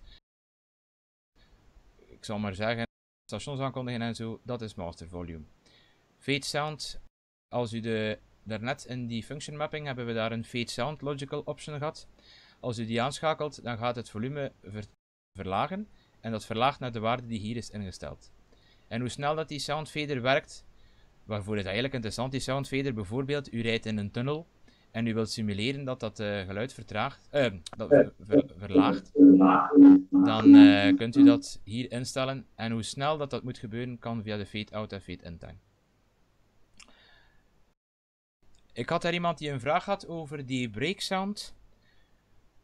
Ik, je had ook vroeger bij eh Marklin treinen was dat. Ik weet niet of dat bij andere merken ook was. Die eh, net een, geluidsdecoder hadden, dan zeiden mensen: Ik hoor die, die remmen niet. Want ik moet zeer snel naar beneden draaien, naar nul, om dat te kunnen horen. En ik moet, of, of de trein moet al op een zeer hoge snelheid aan het rijden zijn, wil ik, die, eh, wil ik dat horen. Wel, dan met die break sound threshold kan je dat instellen. Dus dat wil zeggen, vanaf welke snelheidswaarde moet hij beginnen piepen. Mhm. Ja, Dat is eigenlijk, ik denk, het antwoord op uw vraag. Hè. ja, ja, ja, dat ik dat straks gevraagd ook, hè. Ja. Ja. En meestal, Ja. zijn- meestal zeggen mensen van, ik hoor dat remmen niet, niet vroeg genoeg, ik moet hem op een te hoge snelheid zetten, wil ik dat horen? Wel, dan kan je hier de switching on threshold een beetje lager zetten en dan gaat dat vroeger klinken. Ja, want bij mij was het eigenlijk zo, dus ik had een lok en die liep nogal lang uit. En dan piepte die wel drie, vier keer achter elkaar. En ik had het dan ingesteld, zodanig dat die bijvoorbeeld rapper stil kwam te staan in feite. Ja. En eh, dan piepte hij maar één of twee keer, dat is het grote verschil in feite. Hè? Ja. Maar ja, het probleem is dan natuurlijk dat uw lok minder lang uitloopt en dat is niet wat je wil. Hè. Je, wil je wil enkel dat dat remgeluid eh, aangepast wordt. Ja, Ja, dat, ja, en dat ja, is, eh, ja. Dat is exact wat dat wij vroeger hadden bij Merklin ook. Dat deden wij vroeger ook, die eh, remafstand aanpassen. Om dat dan toch maar te doen. Mhm. maar nu kan dat dus hier in de threshold. ja. Overigens kan dat bij Merklin ook in de threshold, maar daar kan je het niet instellen. Dus Tenzij op die nieuwe MSD-decoders. Die LSD trouwens. ja. Dan gaan we weer verder. Zijn er eh, vragen over die sound settings, die Steam shifts? Nee, dan ga ik verder. Sound slot settings, eh, sound CV configuration. Ik heb geen idee wat dat doet. Dus we gaan erover. Sound slot configuration. Hier gaan we dus per geluid eigenlijk zeggen wat is zijn volume. Dus als u bijvoorbeeld zegt van, goh, die airpomp, die luchtpomp hier, dat klinkt toch veel te luid tegenover al de rest. Wel, dan kunt u hier dat volume aanpassen. En dan gaat enkel de luchtpomp zijn volume aangepast worden. Minimum sound speed en maximum sound speed, dat heeft betrekking op het eh, motorgeluid. Dat is verder niet zo belangrijk. Nog een dat ik vaak hoor, dat is, ik heb een eigen geluid toegevoegd bijvoorbeeld. En dat werkt wel, maar ik moet altijd eerst het rijgeluid aanzetten. En wel, dat is dus deze functie, play only if drive sound is enabled. Als je wil dat een functie dat die schakelt onafhankelijk van het rijgeluid, of dat nu aanstaat of uitstaat, dan moet je dit uitschakelen. Als dat iets is dat, eh, dat typisch bij het motorgeluid of, of voor stoombloks, dat, dat, dat, dat typisch weer klinkt als, als er pas druk op de ketel is, ja, dan moet je dit aanschakelen. Ik denk niet dat voor de rest nog iets over te zeggen is. Ja. En nog wat special options. Dus zoals ik al zei, worden de protocollen automatisch herkend bij Easy decoders en er zitten hiërarchieën.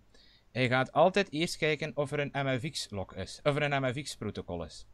Als hij dat MFX-protocol niet vindt, gaat hij over naar DCC. Dan naar Berkeley, Motorola en Selectrix. Eh, naar Motorola en pas als laatste gaat hij Selectrix kiezen. Nu, in die hiërarchie, het zou kunnen dat het daar een keer misloopt. Dat u bijvoorbeeld een centrale heeft, als u een ESU, uh, hoe heet de centrale van ESU, de ECOS. Als u de ECOS heeft en u zou eigenlijk MFX willen, maar ja, dan gaat de ECOS typisch een DCC-signaal uitsturen. Wel, dan kunt u hier het DCC-protocol uitschakelen en dan gaat hij, en al de rest eigenlijk ook, en dan gaat hij toch MFX gebruiken. Kan ook zijn dat er iets in die herkenning niet juist is. Wel ja, uh, schakel dan al de rest uit en schakel enkel het protocol aan dat u nodig heeft. Maar normaal gezien, die herkenning, dat werkt vrij goed. Persistent function en speed, dat is voor de memory. Dat wil eigenlijk zeggen, uh, heeft u log lang stilgestaan en u heeft hem echt uitgeschakeld op een moment dat hij aan het rijden was of dat er nog functies aanstonden, wel met persistent uh, memory, uh, met, die met die settings, gaat hij dat onthouden. Dus als uw log rijgeluid aan het maken was, bijvoorbeeld, als je hem van de baan heeft gehaald, wel, als je hem terug op de baan gaat zetten, gaat hij terug dat rijgeluid maken. Dan hebben we hier de Railcom Plus en uh, eh, MFX decoder synchronization. Dat is iets nieuws, daar is nog geen documentatie over. Dus daar kan ik helaas ook niet op verder gaan is wel interessant hier, die manufacturer ID, daar zitten dus daadwerkelijk alle fabrikanten onder. Ik vermoed MFX, dat protocol waar iedereen zo vreselijk tegen is, dat is sinds kort volledig opengesteld, net als DCC. Dus alle fabrikanten kunnen daar nu mee aan de slag. En ik vermoed dat dit te maken heeft met die openstelling van dat protocol. Dus dat er voor manufacturers nu aparte ID's zullen zijn voor het MFX-protocol. Maar ik weet dat dus uh, niet zeker. Ja, dan zijn we rond met de decoder tab. Function. Voor de mensen met Railcom Plus en MFX gaat automatisch de DCC-decoder, als u die aan de baan aansluit, gaat op uw, op uw centrale de, log zich aanmelden en gaat alle functies de juiste symbolen ingeladen worden. Ook het, de afbeelding van de log gaat zich automatisch laden. Als u nu zegt. Nee, als u zelf wil kiezen welke symbolen dat er aan een functie toegewezen zullen worden via die Rail Plus of MFX, dan kunt u dat hier in deze tabel instellen. Dus momentfunctie, dat is als u bijvoorbeeld een um, fluitje hebt, zolang dat u drukt gaat hij klinken en vanaf dat u loslaat, gaat hij niet meer klinken. Dat is een momentfunctie. Schakelt u dat uit, dan is het zoals dat vroeger is: één keer drukken is aan, twee, eh, nog een keer drukken is uit. Inverted, zoals u wel verwacht, standaard staat hij aan en als u de functie aanzet, gaat hij uit. Die categorie, dat is niet zo belangrijk. En dan het M 4 en icon, u ziet dat er die twee kolommen zijn de icons die hier zit, dat is eigenlijk voor de ecos. U zult die waarschijnlijk ook herkennen, dat uh, geel met zwart. En de M4 icons, dat is voor de, e voor de Marklane Central Station. Het probleem is enkel, Marklane Central Station heeft ondertussen al zeer veel updates gekregen en heeft al veel meer uh, icoontjes, maar Programmer is blijven hangen. Dus het aantal icoontjes dat u hier kunt selecteren voor de Central Station is een beetje beperkt. Je gaat dat ook automatisch mappen, dus als je hier voor de ecos iets instelt, voilà, ziet u dat dat hier ook meegaat. En ja, voor de rest kunt u hier nog de omschrijving invullen als u een functie heeft aangemaakt, wat het nu eigenlijk is. En het is deze tabel, denk ik, die zal worden gebruikt voor het uh, save bullet, voor die mooie pdf waar die functies op staan. In general kunt u nog meegeven uh, wat de naam is, of het een stoomtrein is, of een diesel of een elektrische. Dat is voornamelijk als u bijvoorbeeld een mobile station heeft, die geeft uh, zo aan met een icoontje, die kan enkel maar aangeven of het een, uh, een stoomtrein is of een diesel. Als u hier dat type meegeeft, gaat dat kloppen. Die locomotive image kunt u dus uploaden en dan gaat die weergegeven worden op uw centrale. Description, dat is eigenlijk ook voor in dat bulletin daar. Hier is voor de rest niets interessants. dan gaan we naar het laatste grote luik en dat is die sound. Hè.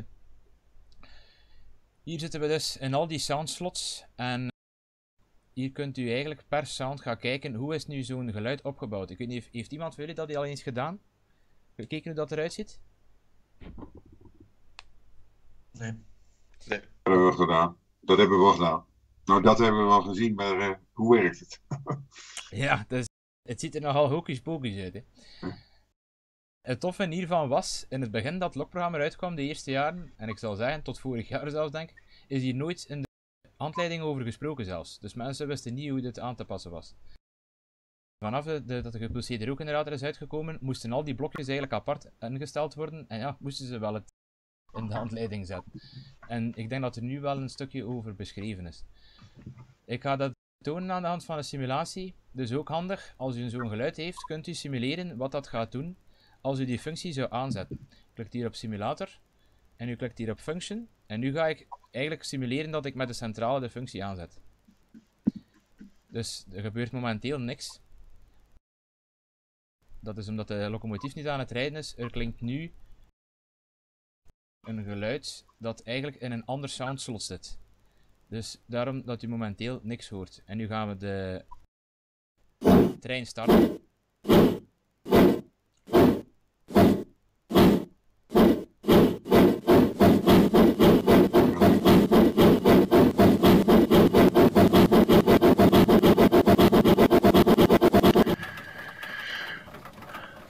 Hem op 0, nu is hij aan het uitbollen.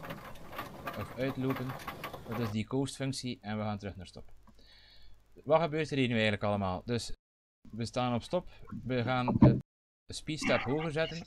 Dan gaat hij automatisch, want hij zit in 0, gaat hij via deze eh, boxen, gaat hij ingeven, er is een versnelling.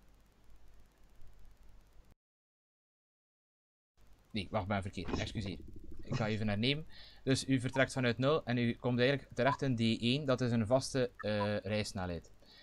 U begint te versnellen vanaf speed step 1, want die zit in D1. En dan gaat u via die A1. Die A1, dat is eigenlijk het versnellende geluid. De versnellende shifts. Gaat hij over andere blokjes totdat hij aan bepaalde snelheid komt die u heeft ingesteld. En dan zakt hij weer naar beneden tot u aan een constante shift snelheid komt. Dus zo ziet het er eigenlijk uit als u een eh, lok versnelt. Hij zit in een constante shift snelheid. Hij gaat versnellen, hij gaat naar hier, hij gaat naar hier, terug naar beneden en we zitten weer in een vaste snelheid.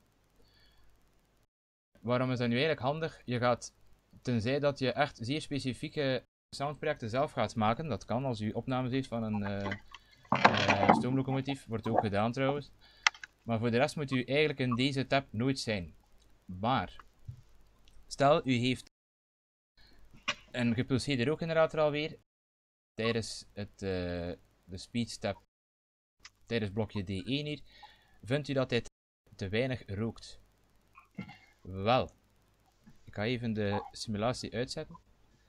Dan gaat u naar D1 en dan ziet u hier links wat er allemaal voor instellingen zijn. En dan ziet u hier ESU Smoke Unit. Voor dit project is ESU vergeten om daar waarden in te zetten, maar normaal gezien gaan die erin zitten. En dan gaat u hier een waarde zien voor de temperatuur van de rookgenerator en voor de ventilator, hoe snel dat die draait op dat punt. En als u vindt dat de rookgenerator te weinig rookt op een bepaalde snelheid, wel dan kunt u hier die eh, temperatuur instellen. Vroeger moest je dat dus allemaal één voor één ingeven, gelukkig hebben ze hier presets toegevoegd. Dus in die ene is hij normaal aan het rijden, dus dan gebruiken we de preset drive. Die flex en zo, dat is niet belangrijk. Tot zover het rijgeluid. We gaan even iets anders doen. En dat zijn die verschillende wissels. Ik ga nu over naar een ander soundproject weer. Er ondertussen vragen zijn, stel maar. De, er zijn er ook geluid, eh, geluid om te zetten. Waar moet je dat in, in, in, doen? Ja, dat ga ik straks even tonen. Wat eh, ook nog leuk is met die geluiden, je kunt vanuit het geluid een motor of een uitgang aansturen. Je zult denken, waarvoor is dat nu nodig? Wel, bijvoorbeeld, ik heb een bewegende bel. Die bel die moet synchroon met het geluid. Als, als de, in het geluid de bel de ene kant op gaat, dan moet die motor mee. En dan moet die ook nog aangestuurd worden om terug te gaan natuurlijk. Dan maakt u een, uh, een soundslot. Kijk, u hebt hier zo'n een leeg soundslot. Voor B22 hier. Klik er dubbel op en dan krijg je een lege tab. En dan kunt u zo'n uh, soundstukje zelf aanmaken. Wat ook kan, en dat heb ik hier gedaan, dus je hebt hier al een soundslot wissels. En wel, je gaat gewoon de blokjes kopiëren die je nodig hebt. En dan krijgen we dus dit. Ik ga even tonen wat hij doet eerst. Dus het geluid is gestart. We gaan naar de init fase waar de bel traag op gang komt. Ik ga hem nu even uitzetten of je wordt gek. En dan gaat hij dan gaat die bel in een constante snelheid hier loopen in dit, in dit vakje. En dan geeft hij de bel loop.waf, dan geeft hij dat geluidje weer.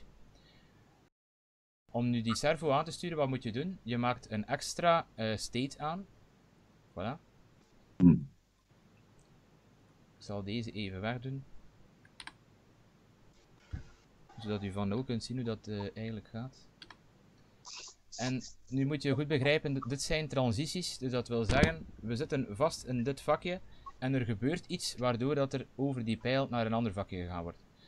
Als f true is, dan wil dat zeggen dat u op de functie heeft geklikt, dat die 1 wordt en dat er dus naar een volgend vakje gegaan wordt. Als er staat true, dan wil dat zeggen, als dit vak afgelopen is, gaat hij sowieso naar het volgende. Wat kunnen we nu doen? We zitten in die loop, dus we horen één keer bell loop wave bel op af en het geluid is afgelopen, dan gaat hij normaal kijken, is er een uitgang, is er zo'n transitie die al voldaan is. En dan kijkt hij hier, f is false, dat wil zeggen, u heeft de functie uitgeschakeld. Nee, u heeft de functie nog niet uitgeschakeld. Ah, dan ga ik nog een keertje herhalen en dat blijft hij dus doen totdat u de functie uitschakelt. Dan zo hoort hij die bel constant klinken. Wat kunt u nu doen? U maakt een transitie aan, van hier naar daar. En u zegt, kijk. Voilà. Hij maakt hier een conditie aan. En u zegt in het register, kijk, als de functie nog aanstaat, dat wil zeggen function is true, je kunt ook false inklikken, true, dan mag hij naar dit vakje gaan. En als dit vakje gedaan is, dan mag hij altijd terug naar hier. Even en die laatste, ja, ze liggen hier op elkaar, maar die laatste, die is hier, die laatste die is altijd true. Wat gebeurt er dus nu? Loop is afgelopen, het geluid heeft één keer geklonken. Je gaat kijken, is er hier een conditie die al voldaan is? Ja, deze conditie is voldaan, f is true, want hij staat, uw functie staat gewoon altijd aan, uw bel is nog altijd aan het rinkelen. Dan gaat hij naar deze status. En wat doen we hier? Wel, hier gaan we nog een keer die bel laten klinken. En nu moet ik hier uit allemaal die wissels kijken waar die bel zit. Uh, waar zit de bel? Hier zit de bel. Voilà. En als dat geluid afgelopen is, dan gaat hij, want dat is altijd true, automatisch terug naar de loop. De loop gaat kijken, is er hier al een conditie voldaan? Ja, ik ga eerst nog mijn geluid een keer laten horen, dan gaat hij kijken, nee nog altijd vals. Ja, dan schuiven we weer naar hier en zo blijft dat uh, grapje duren. Waarom doe ik dat nu eigenlijk, dat opsplitsen? Wel, als je een uh, servo hebt, dan kun je vanuit dat blokje een output aansturen. En dat is erg handig. Want hier in mapping, excuseer, ik krijg hier een telefoon binnen. Kunt u zeggen, ah, dat blokje moet een output aanzetten. En u kunt hier kiezen welke output. Ik zeg nu maar iets, hier bel servo, dat is waarschijnlijk ook de echte output die moet 1 worden. Dus wat gebeurt er dan? We gaan van, en deze init, die moet ook 1 worden. We zitten op 0, het geluid klinkt niet. We gaan naar de init, de bel begint te rinkelen. Hij gaat de servo-uitgang 1 maken, dus de, bel, de servo gaat beginnen draaien. De servo gaat beginnen draaien, de bel gaat naar de ene richting. En dan gaat hij hier in die loop, gaat hij op een gegeven moment naar, deze, naar dit vakje. Maar hier heb ik de output niet aangekruist. Dus de functie van de uitgang van de servo wordt niet aangeroepen. Dus wat gaat de servo doen? Die gaat terug naar 0, die gaat terug naar zijn originele toestand. Uw bel gaat terug achteruit. hier gaat, eh, die, dat belgeluid is afgelopen. Hij gaat terug naar, deze, naar dit vakje. Ah, hier staat de bel weer hoog. Uw, uw servo schuift weer op. En zo blijft dat in een loopje draaien. Dit is net hetzelfde voor een ventje dat bijvoorbeeld kolen aan het scheppen is. Ik ga dat hier een keer tonen. Dus in het staat. Nu gaat de servo beginnen draaien. De servo is hier nog altijd hoog. De servo is gedraaid. En hij draait het, het ventje. Dus in dit stadium draait het ventje naar de andere kant en maakt zijn schep leeg en dan gaat hij terug naar hier. Dus dit is eigenlijk een ingewikkeldere manier om servo's aan te sturen en om eh, outputs aan te sturen vanuit het geluid, maar zo kan je het wel perfect synchroon krijgen. Want ik heb net getoond, als je een pantograaf hebt, kan je dat instellen in die function output daar. Door die, um, die tijd vooraleer dat de, dat de output hoog wordt, kan je instellen. En dat, daar kan je mee spelen tot zolang dat het klopt. Ja, je kan ook hier naar Soundslot gaan, waar dat dan het pantograafgeluid in zit. En dan ga je zien dat het stijgen van die pantograaf... Wacht, ik ben hier in het eiland aan het praten, ik zal het u tonen. Nee. Uh, waar zit de krokodil? Krokodil. Het is niet Krokido. Ziet er iemand een krokodil? Ja, hier zit de krokodil natuurlijk.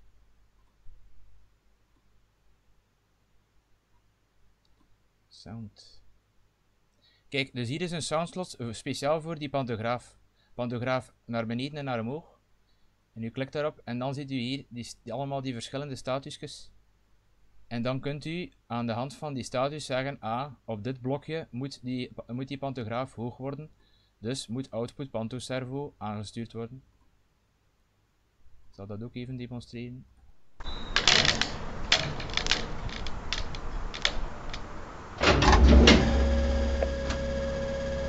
Zitten we in de loop. Nu ga ik hem terug uitzetten.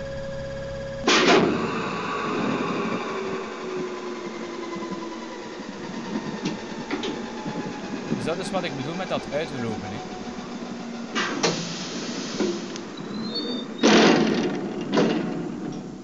Dus op het moment dat hij van die S-loop naar hier ging, dat is eigenlijk het moment dat ik zogezegd mijn functie heb uitgeschakeld.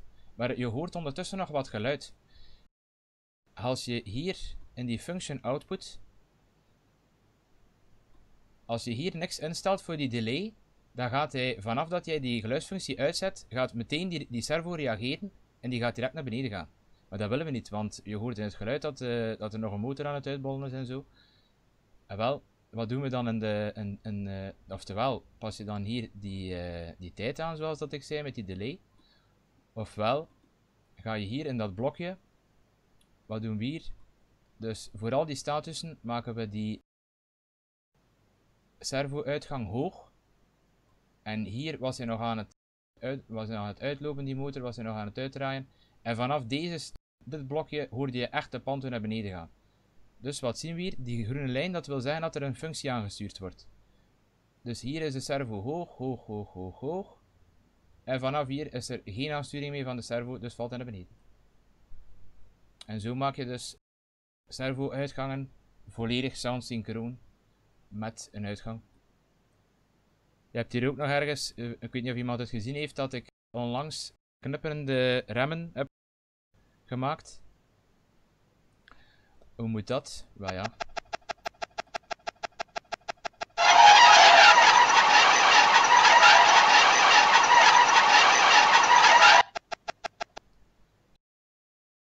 Init, loop en exit, die kregen allemaal een output toegewezen. Dat was die output, dat was uh, gewoon een aux-uitgang, waar die lampjes aan hingen. Ik zal niet maar zijn, die noodlicht. En uh, vanaf dat die functie werd opgeroepen, dus vanaf dat het remgeluid klinkt, ah, dan beginnen die lampjes te flikken. En dat ziet eruit als vonkende remmen. Dan was er nog de vraag, hoe kan ik zelf geluid invoegen? We starten vanaf een leeg soundslot. U maakt een, een state aan. Want in een state kunt u een geluid in, in importeren. U gaat naar Sound, Add Sound Files.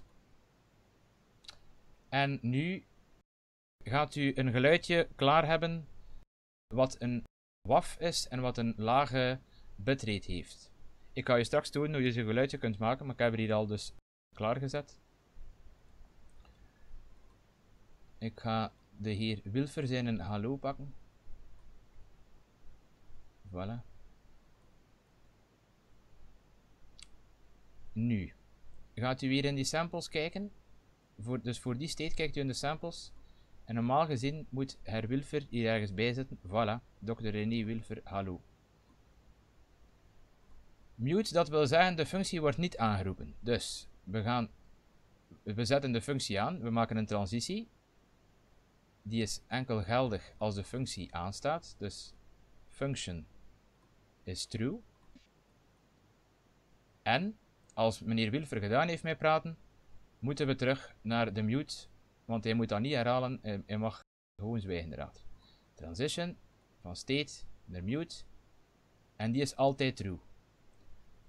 Ja, als het geluid afgelopen is, moet er niet gekeken worden van uh, staat, het, staat het uit? Nee, hij gaat altijd terug naar 0. En dan gaan we eens testen. Simulator, function. Hallo, lieve Pico-vrienden. Voilà. Zijn daar vragen over, over hoe je zelf een geluid erin steekt? Nou ja, ik denk dat het experimenteren wordt. ja. Die, steek, die, staat, die staat naar containers, dat is wel moeilijk, hè? die transities en zo. Maar zoals je ziet, als je er zelf een geluid in steekt, dat is echt de basic. Hè? Gewoon uh, één, kotje, uh, één vakje aanmaken, geluid erin stoppen en uh, terug naar hier. Ja. Ik heb een keer een, een, een fluitje van een 140 lok. nou, die vind je helemaal niet terug in, in die fluitjes van Easy. Ja. ja, die ga je er zelf moeten steken.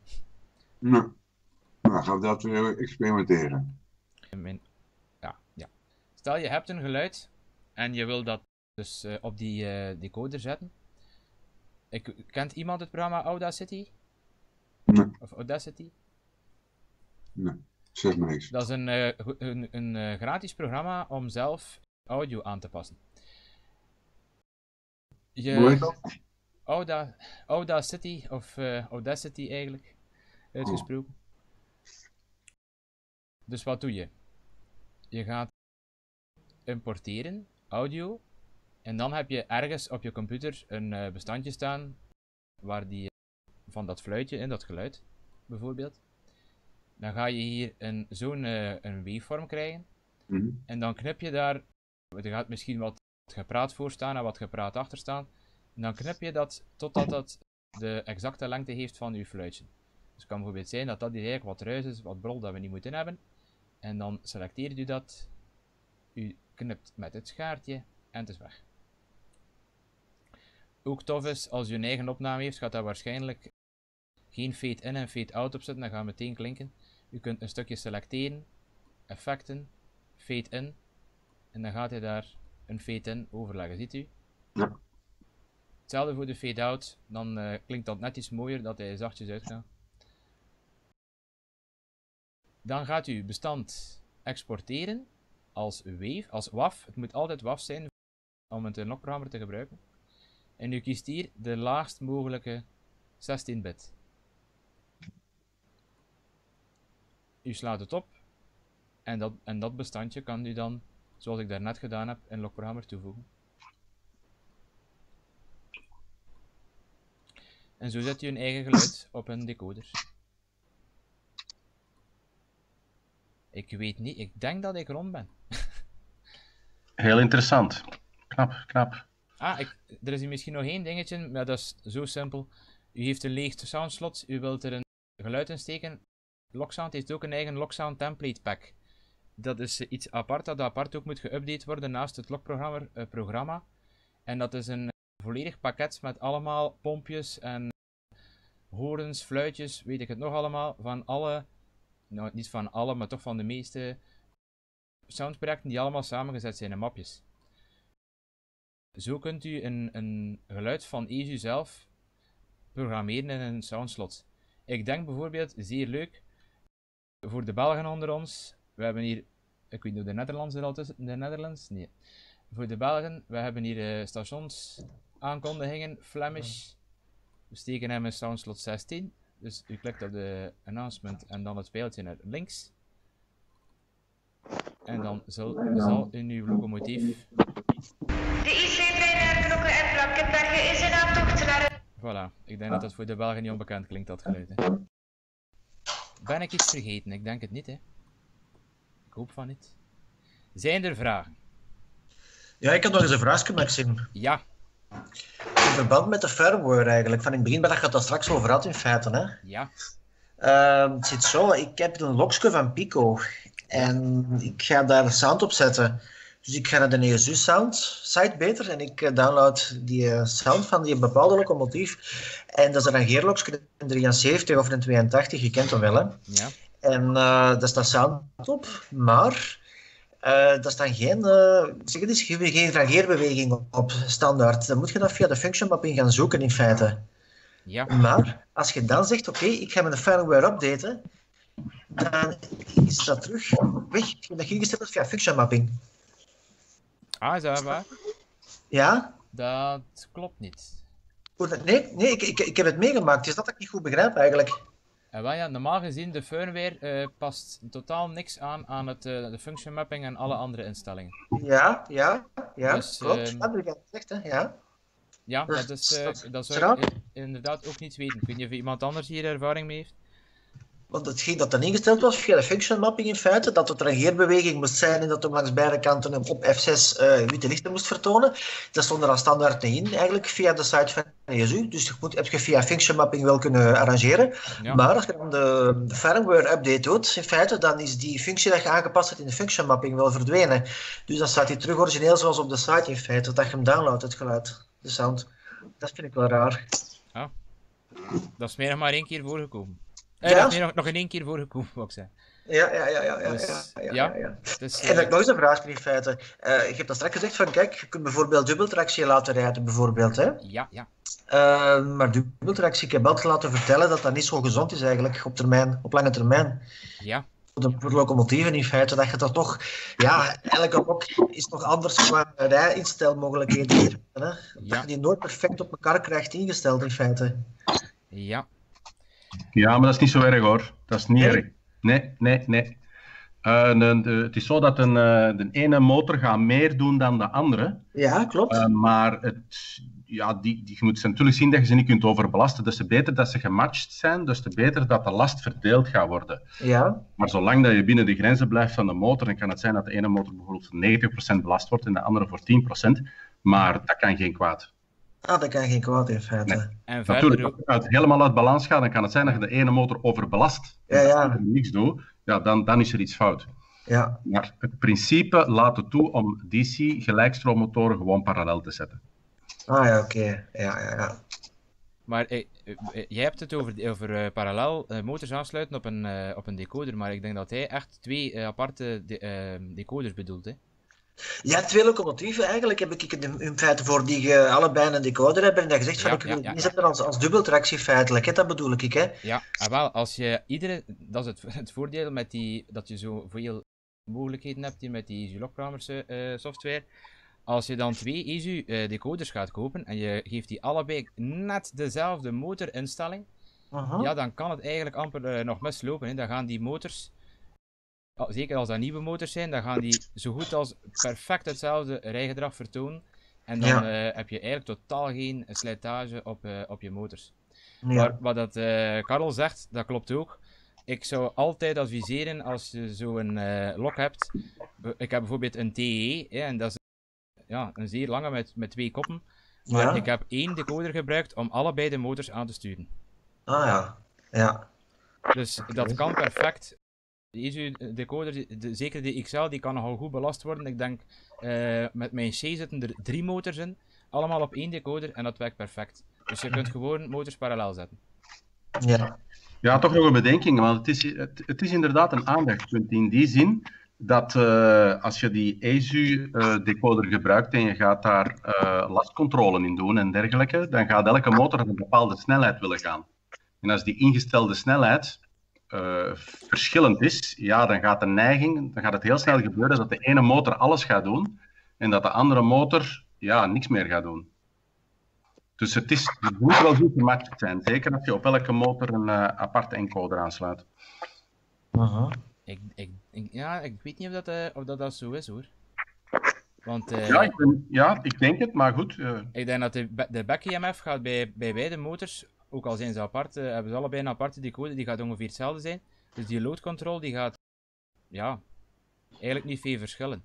Maar ik heb wel al ehm, een, een, een leuk voorbeeld gekregen van iemand die had een TE laten ombouwen bij een grote winkel in ehm, Nederland. Ja, die zeven man op nou. En ehm, die had een, eh, dus die TE, er zaten twee aparte decoders in, en allebei de koppen en zat een decoder. Maar het Mhm. probleem is, als je dan een zeer steile helling hebt, dan zit die eerste kop bijvoorbeeld al op de helling, terwijl dat die andere nog plat is. ja. En dan gaat lastcontrole inderdaad wel een probleem geven, want die eerste motor die ziet al goed af, en die gaat eh, zich beginnen aanpassen, terwijl dat die laatste, ja, die weet nog van niks. Maar stel dat u ehm, echt zo een, eh, een Amerikaanse lok heeft die u eigenlijk direct aan elkaar koppelt, dan is dat geen probleem als die loks net achter elkaar hangen. Dan gaat die load control weinig uitmaken. En ja, moest load control een probleem geven, er is ook nog de optie om hem uit te zetten. Ik zou het niet adviseren, maar eh, het is mogelijk. Ja, oké. Ga ik eens proberen. Ik ga er nog mee rond experimenteren. Ja, dubbeltractie, ik moet zeggen, ik heb er ook nog niet te veel rond gedaan hoor. Eh, buiten die TE-kop dan, maar eh, voor de rest. In H0 vond ik dat ook altijd al een beetje miserie. Maar in een Marklin Central Station kan je die dubbeltracties alle aanmaken in de centrale zelf. En moet je geen consist-adres geven aan een decoder.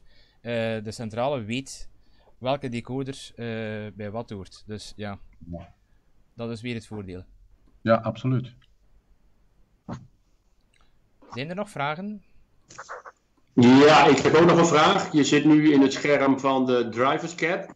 Ja, En daar zit nog een menu onder Turnout Control Panel. ja.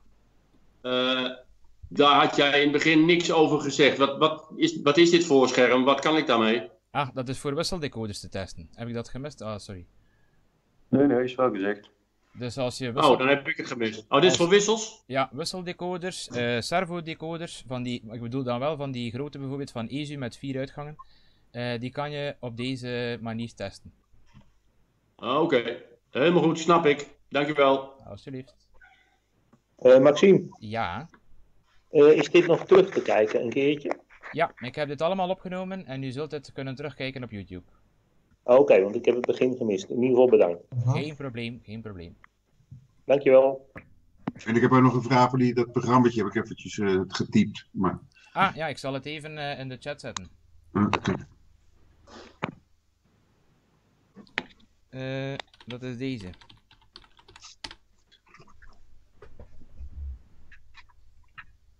Volledig gratis. Mocht ik hier nog een keer wat hebben, dan lezen we het wel. Ja, Ja, wel, wel leuk, eh, gezellig toch? ja. Ik, ik krijg sowieso meestal wel wat vragen binnen rond easy decoders en zo. eh.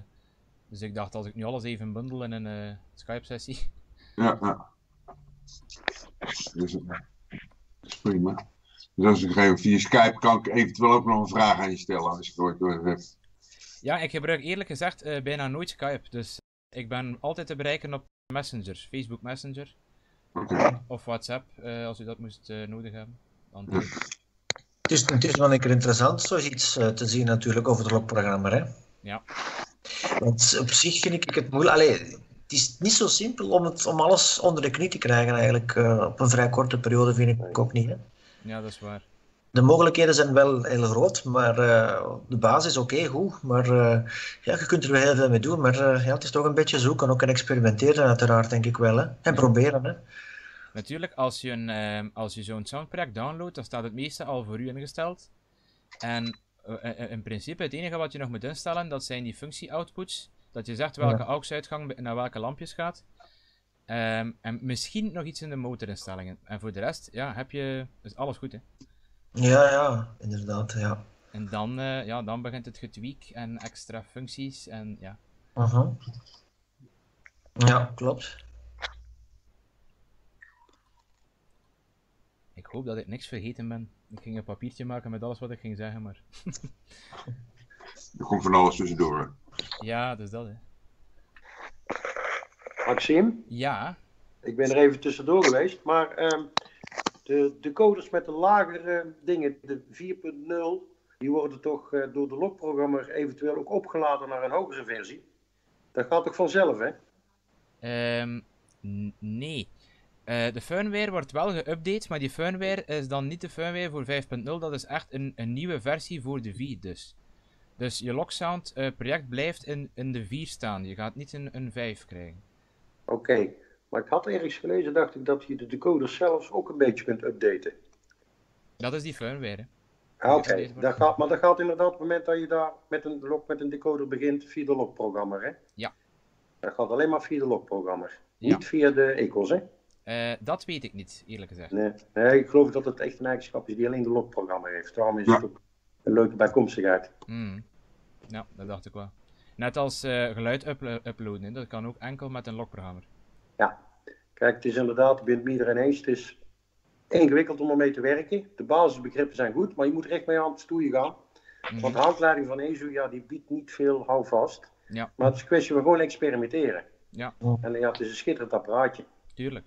Het is ook, de handleiding is de laatste jaren al een pak verbeterd, maar ze was vroeger zeer eh, wazig eh, geschreven. Dat, eh, dat klopt zeker. En ja, durven ermee te spelen. En ik moet ook zeggen, eh, als ik de programma's bekijk, en ik heb ze al effectief bekeken, dus ik weet waarover ik spreek. De programma's van Zimo, van eh Massot, van MD, die is nog erger. Dat zijn echt programmaatjes, dat ziet eruit als uit de jaren 90. hè. Ehm, je hebt geen mooie icoontjes, je moet heel veel cv-berekening nog doen. Ehm, je, je hebt weinig informatie. Terwijl, ja, hier staat al een beetje uitgelegd. Ik- eigenlijk alles wat ik heb uitgelegd, dat staat al, al kort en bondig erbij. En, en het zijn allemaal slidertjes die je moet verzetten. Dus ja, dit is eh, echt van allemaal is EZU de meest gebruiksvriendelijke, makkelijke software. Ja, dat klopt. En je hoeft die cv's, cv's zelfs niet te berekenen. En dat is een genot, want Dat is een opluchting, hè? Ja. Want alle instellingen die ik nu getoond heb, ja, dat zijn natuurlijk allemaal, eh, onder de hoed zijn dat allemaal cv's, hè, die je apart kunt aanpassen. En die, eh, je ziet hier in mijn logprogrammer, staat achter iedere eh, optie, eh, staat hier cv 27.2 bijvoorbeeld, staat aangegeven welke cv dat dan eigenlijk is. Dat is iets dat je in de instellingen kunt aanzetten. Maar ja, zo zie je dus dat dat allemaal eigenlijk losse cv'tjes zijn. Hè. Maar het is, veel handiger om zo'n checkbox in te schakelen, omdat je daar ergens een bit in, in een cv moet gaan liggen zoeken. Ah ja, Maar ik, eh, ik denk dat een hoop instructievideo's eh, ook wel een hoop duidelijk maken. ja inderdaad. Dus er, staat, er is nu een, eh, nog niet zo lang, ik denk nog maar een jaar of twee, is er een EZU-account op YouTube. Dat echt actief is beginnen worden. En daar staan, eh, dat, is een dat is eigenlijk de Amerikaanse importeur, denk ik, die dat doet. Eh, er staan allemaal uitlegvideo's op. Dat noemt EZU Wo- Workbench. Eh, Dat die klopt. serie. En daar staat alles ook nog een keertje uitgelegd. Eh, ook hoe je bijvoorbeeld Logprogrammer installeert. Moest dat eh, mensen die het nog niet geïnstalleerd hebben, eh, die kunnen dat daar ook nog even terugkijken. Oké. Ja, ik denk dat het ook voor andere merken wel een uitkomst zal zijn. Hoe bedoelt u? Nou, bijvoorbeeld de, de handleidingen van DigiKeys uit, uit Nederland. Ja. Die zijn, zijn een ramp, hoor ik heel veel. Ja, dat klopt. En dat denk ik vaak, eh, waarom niet een simpel YouTube-filmpje met een aantal centrales waarop je precies kan zien wat je moet doen en wat er dan gebeurt. Ja, klopt helemaal. En, Dat is- en er is er is eigenlijk nog niemand die daar ingesprongen is. Mhm. Ja, ik denk ook voor eh Logprogrammer is er ook nog geen enkele uitleg in het Nederlands te vinden. Dus eh, Nee, nee. Nee, allemaal Engels of Duits. ja, dat klopt. Dat is een idee voor jou, hè, Maxime. Ja. Ah, ja. En als je, als je een keer een vraag hebt op het forum, dan ben je een zeurkous. ja, dat is ook zo. En het Of brutaal, je brutaal? Nou, weer. En het EZU, er is ook een Maxime. EZU forum, eh, maar dat is ook niet zo, eh, ja, daar kan je ook lang wachten op een vraag. Ja, zeg het eens. Ja, er is wel een Nederlandse handleiding verkrijgbaar, hè? Ja, dat klopt. Maar de, de website en zo is enkel in het Engels en Duits. De Nederlandse handleiding, die is ook eh, die is vertaald door Hans van den Berg, de importeur. Ja. Ehm, ja. die is ook niet helemaal volledig. Sommige details worden daaruit weggelaten. Ehm, ja, als je soms een bepaalde instelling zoekt, kan het wel zijn dat die er ja, niet gaat inzitten. Hè. Een serieus een boek trouwens ook, hè? Ja, ja, ja, ja, zeker weten. Maar ik vind het inderdaad wel een, wel een idee om daar eens even over na te gaan denken, om zoiets op te gaan zetten. Ja, ja. Als ik ooit uh, benaderd word voor, door Ezu, dan zal ik ze met plezier. Uh... Maar er zijn, er zijn mensen die denken dat ik voor Ezu werk of zo, uh, omdat ik altijd Ezu aanraad. Dat is dus niet waar. Hè. Ik heb ook Massot decoders, ik heb ook uh, Ulenbrok. Ehm, maar ja, ik merk gewoon dat toch Ezu het beste en, en ook het makkelijkste in te stellen is eigenlijk. Ja, absoluut. Dat ben ik heel met je eens. Maar als je nu andere decoders hebt en je hebt een rockprogramma, ja, dan moet het bepaald bij één merk blijven, hè, sowieso. Hè? Uh, je kunt die decoders wel programmeren. Er is altijd één ding dat bij alle merken uh, gebonden is aan het merk, en dat is geluid op, uploaden. Hè. Het geluid. Ja, ja. Het, je kunt er nooit eigen geluid op zetten of geluiden wijzigen. Dat moet altijd met de programmer van het merk. Alle andere instellingen, uh, die CV's programmeren, dat kan perfect met de lokprogrammer. Ah, oké. Okay. Ja, ja, ja.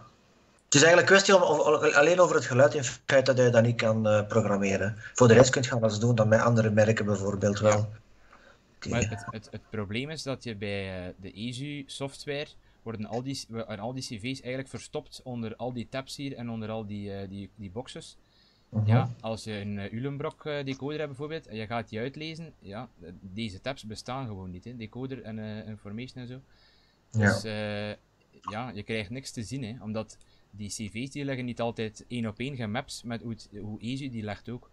Dus -huh. uh, dat, dat zou nergens op slaan. Die zou ergens een vinkbox, zou ergens zo'n checkbox aanklikken en zou misschien een totaal andere instelling uh, aangepast zijn. Ja, ja, dus ja. Dan ja. moet je met die cv's werken. Zeg maar, ik zie maar nog eens een vraagje in feite. Ja. Um, sound, dus je zet sound op een lok bijvoorbeeld. Ja. Uh, maar soms klinkt dat nogal vrij hol, hè? Kunt je ja. daar iets aan doen? Want ik denk niet dat er een equalizer op staat dat je zegt van ik wil een, een voller geluid in feite. Dat kan niet, hè? Nee. Nee, hè? Uh, maar holklinken, dat heeft ook iets te maken met de geluidskamer. Luidspreker, ja. waar, je, waar je je luidspreker hebt ingezet. Uh, je kunt, ik had dat bijvoorbeeld bij mijn C. Uh, daar zit de, de, de, speaker in de tender. En dat holklinken dat kan je oplossen door er wat van die geluidswol in te steken.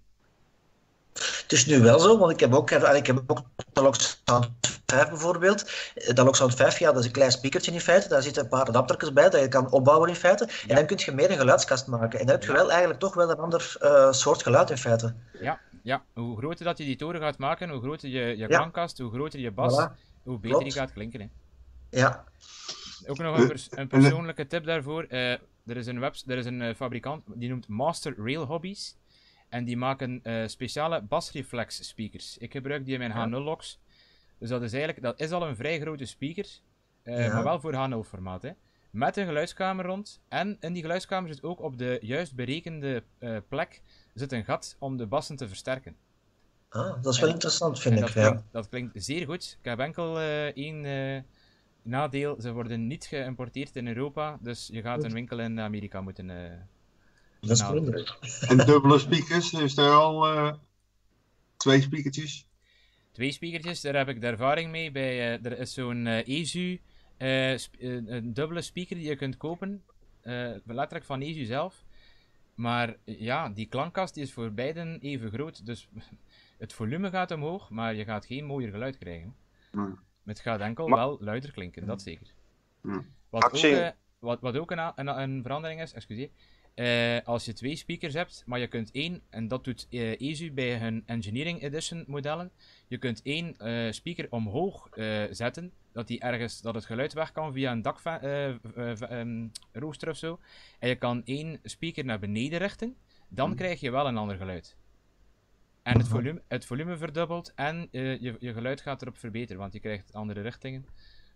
Dat is wel een, uh, een, verbetering. Maar twee speakertjes naast elkaar, ja, buiten meer volume gaat dat niet veel doen. Nee, maar ik, ik, ik vind één, één speakertje. Ik, ik heb net, net, net ook weer een. Maar dat is niet, ik vind het niet veel geluid. Nee, ja, dat klopt. Dus ik vind het geen succesnummer, die nieuwe speakers. Laten we het zo zeggen. Ah, met die opbouwspeakertjes, hè? Ja. Ik heb er nog geen ervaring mee. Ik ken, ik ken enkel nog maar die, eh, ja, die potjes die er vroeger zo bij zaten. Ja, ja. Ja, dan moet ik wel zeggen, Locksound 5, inderdaad, het, het, het volume is minder hard, denk ik, tegenover naar Locksound 4. Locksound 4 kan volumeus wel harder eh, weergegeven worden, denk ik wel. Ja. Het kan, ook, het kan ook liggen aan de impedantie van je luidspreker. Ik weet niet Ja. welke impedantie dat ze er nu weer bij steken.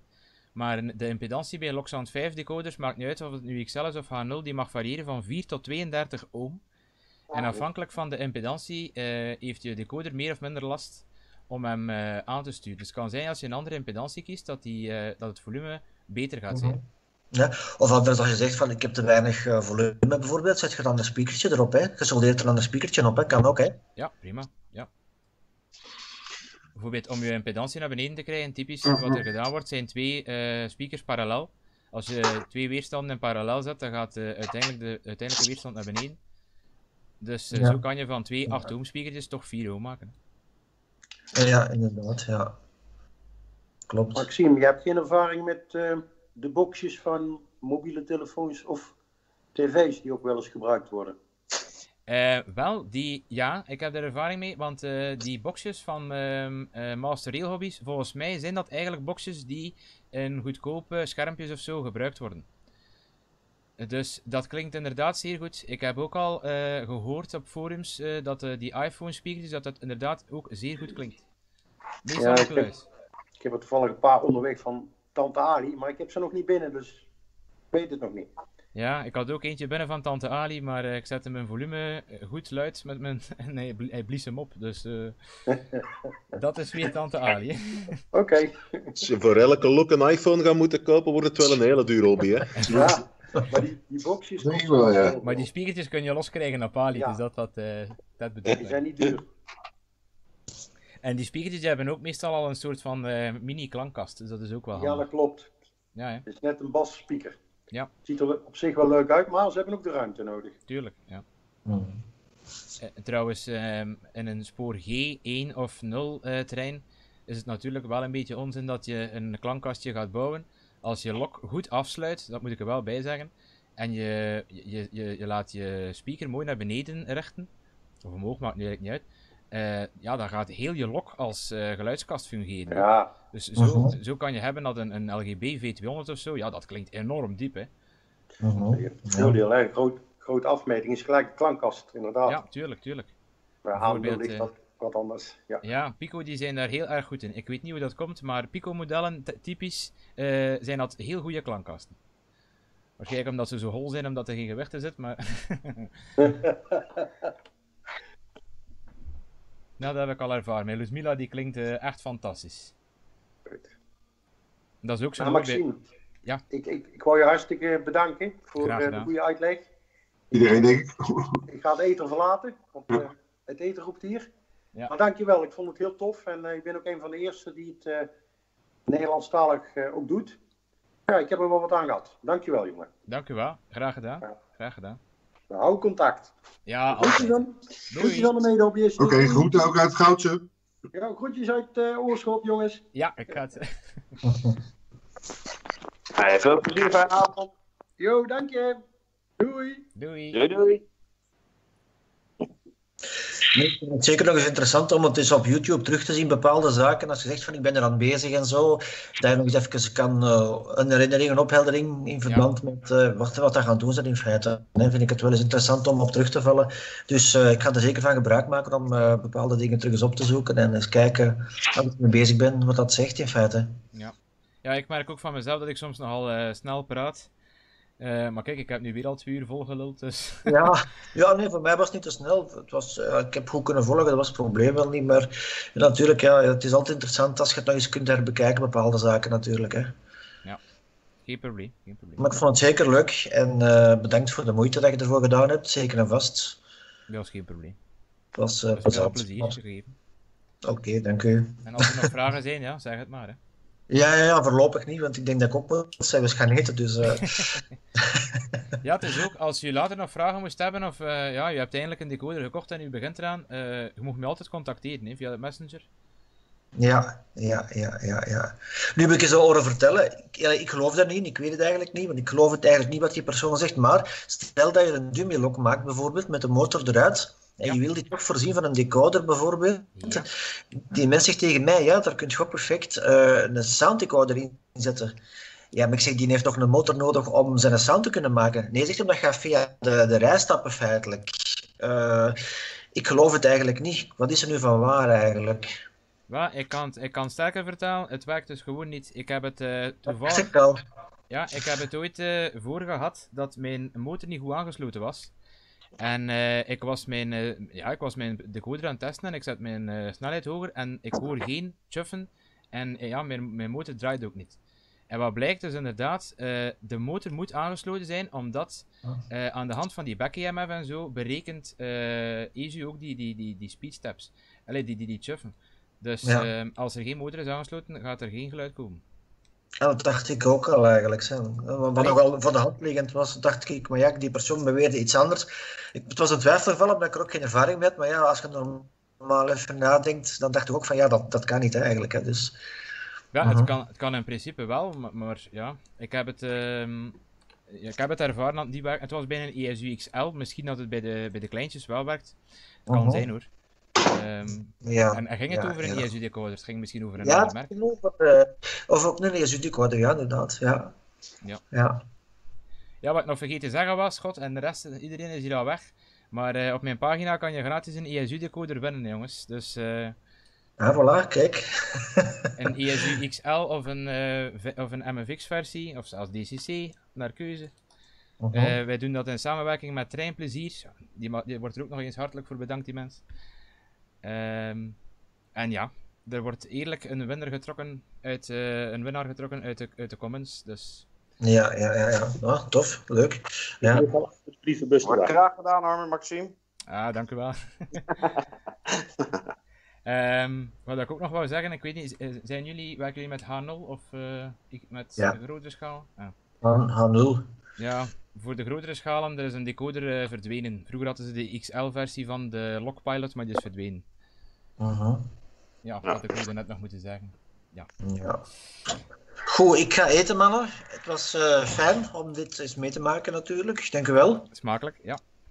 Ja, en eh, ik ga het zeker nog eens bekijken op YouTube, bepaalde zaken. Ja, geen probleem. Goed, groetjes. Dag. Dag.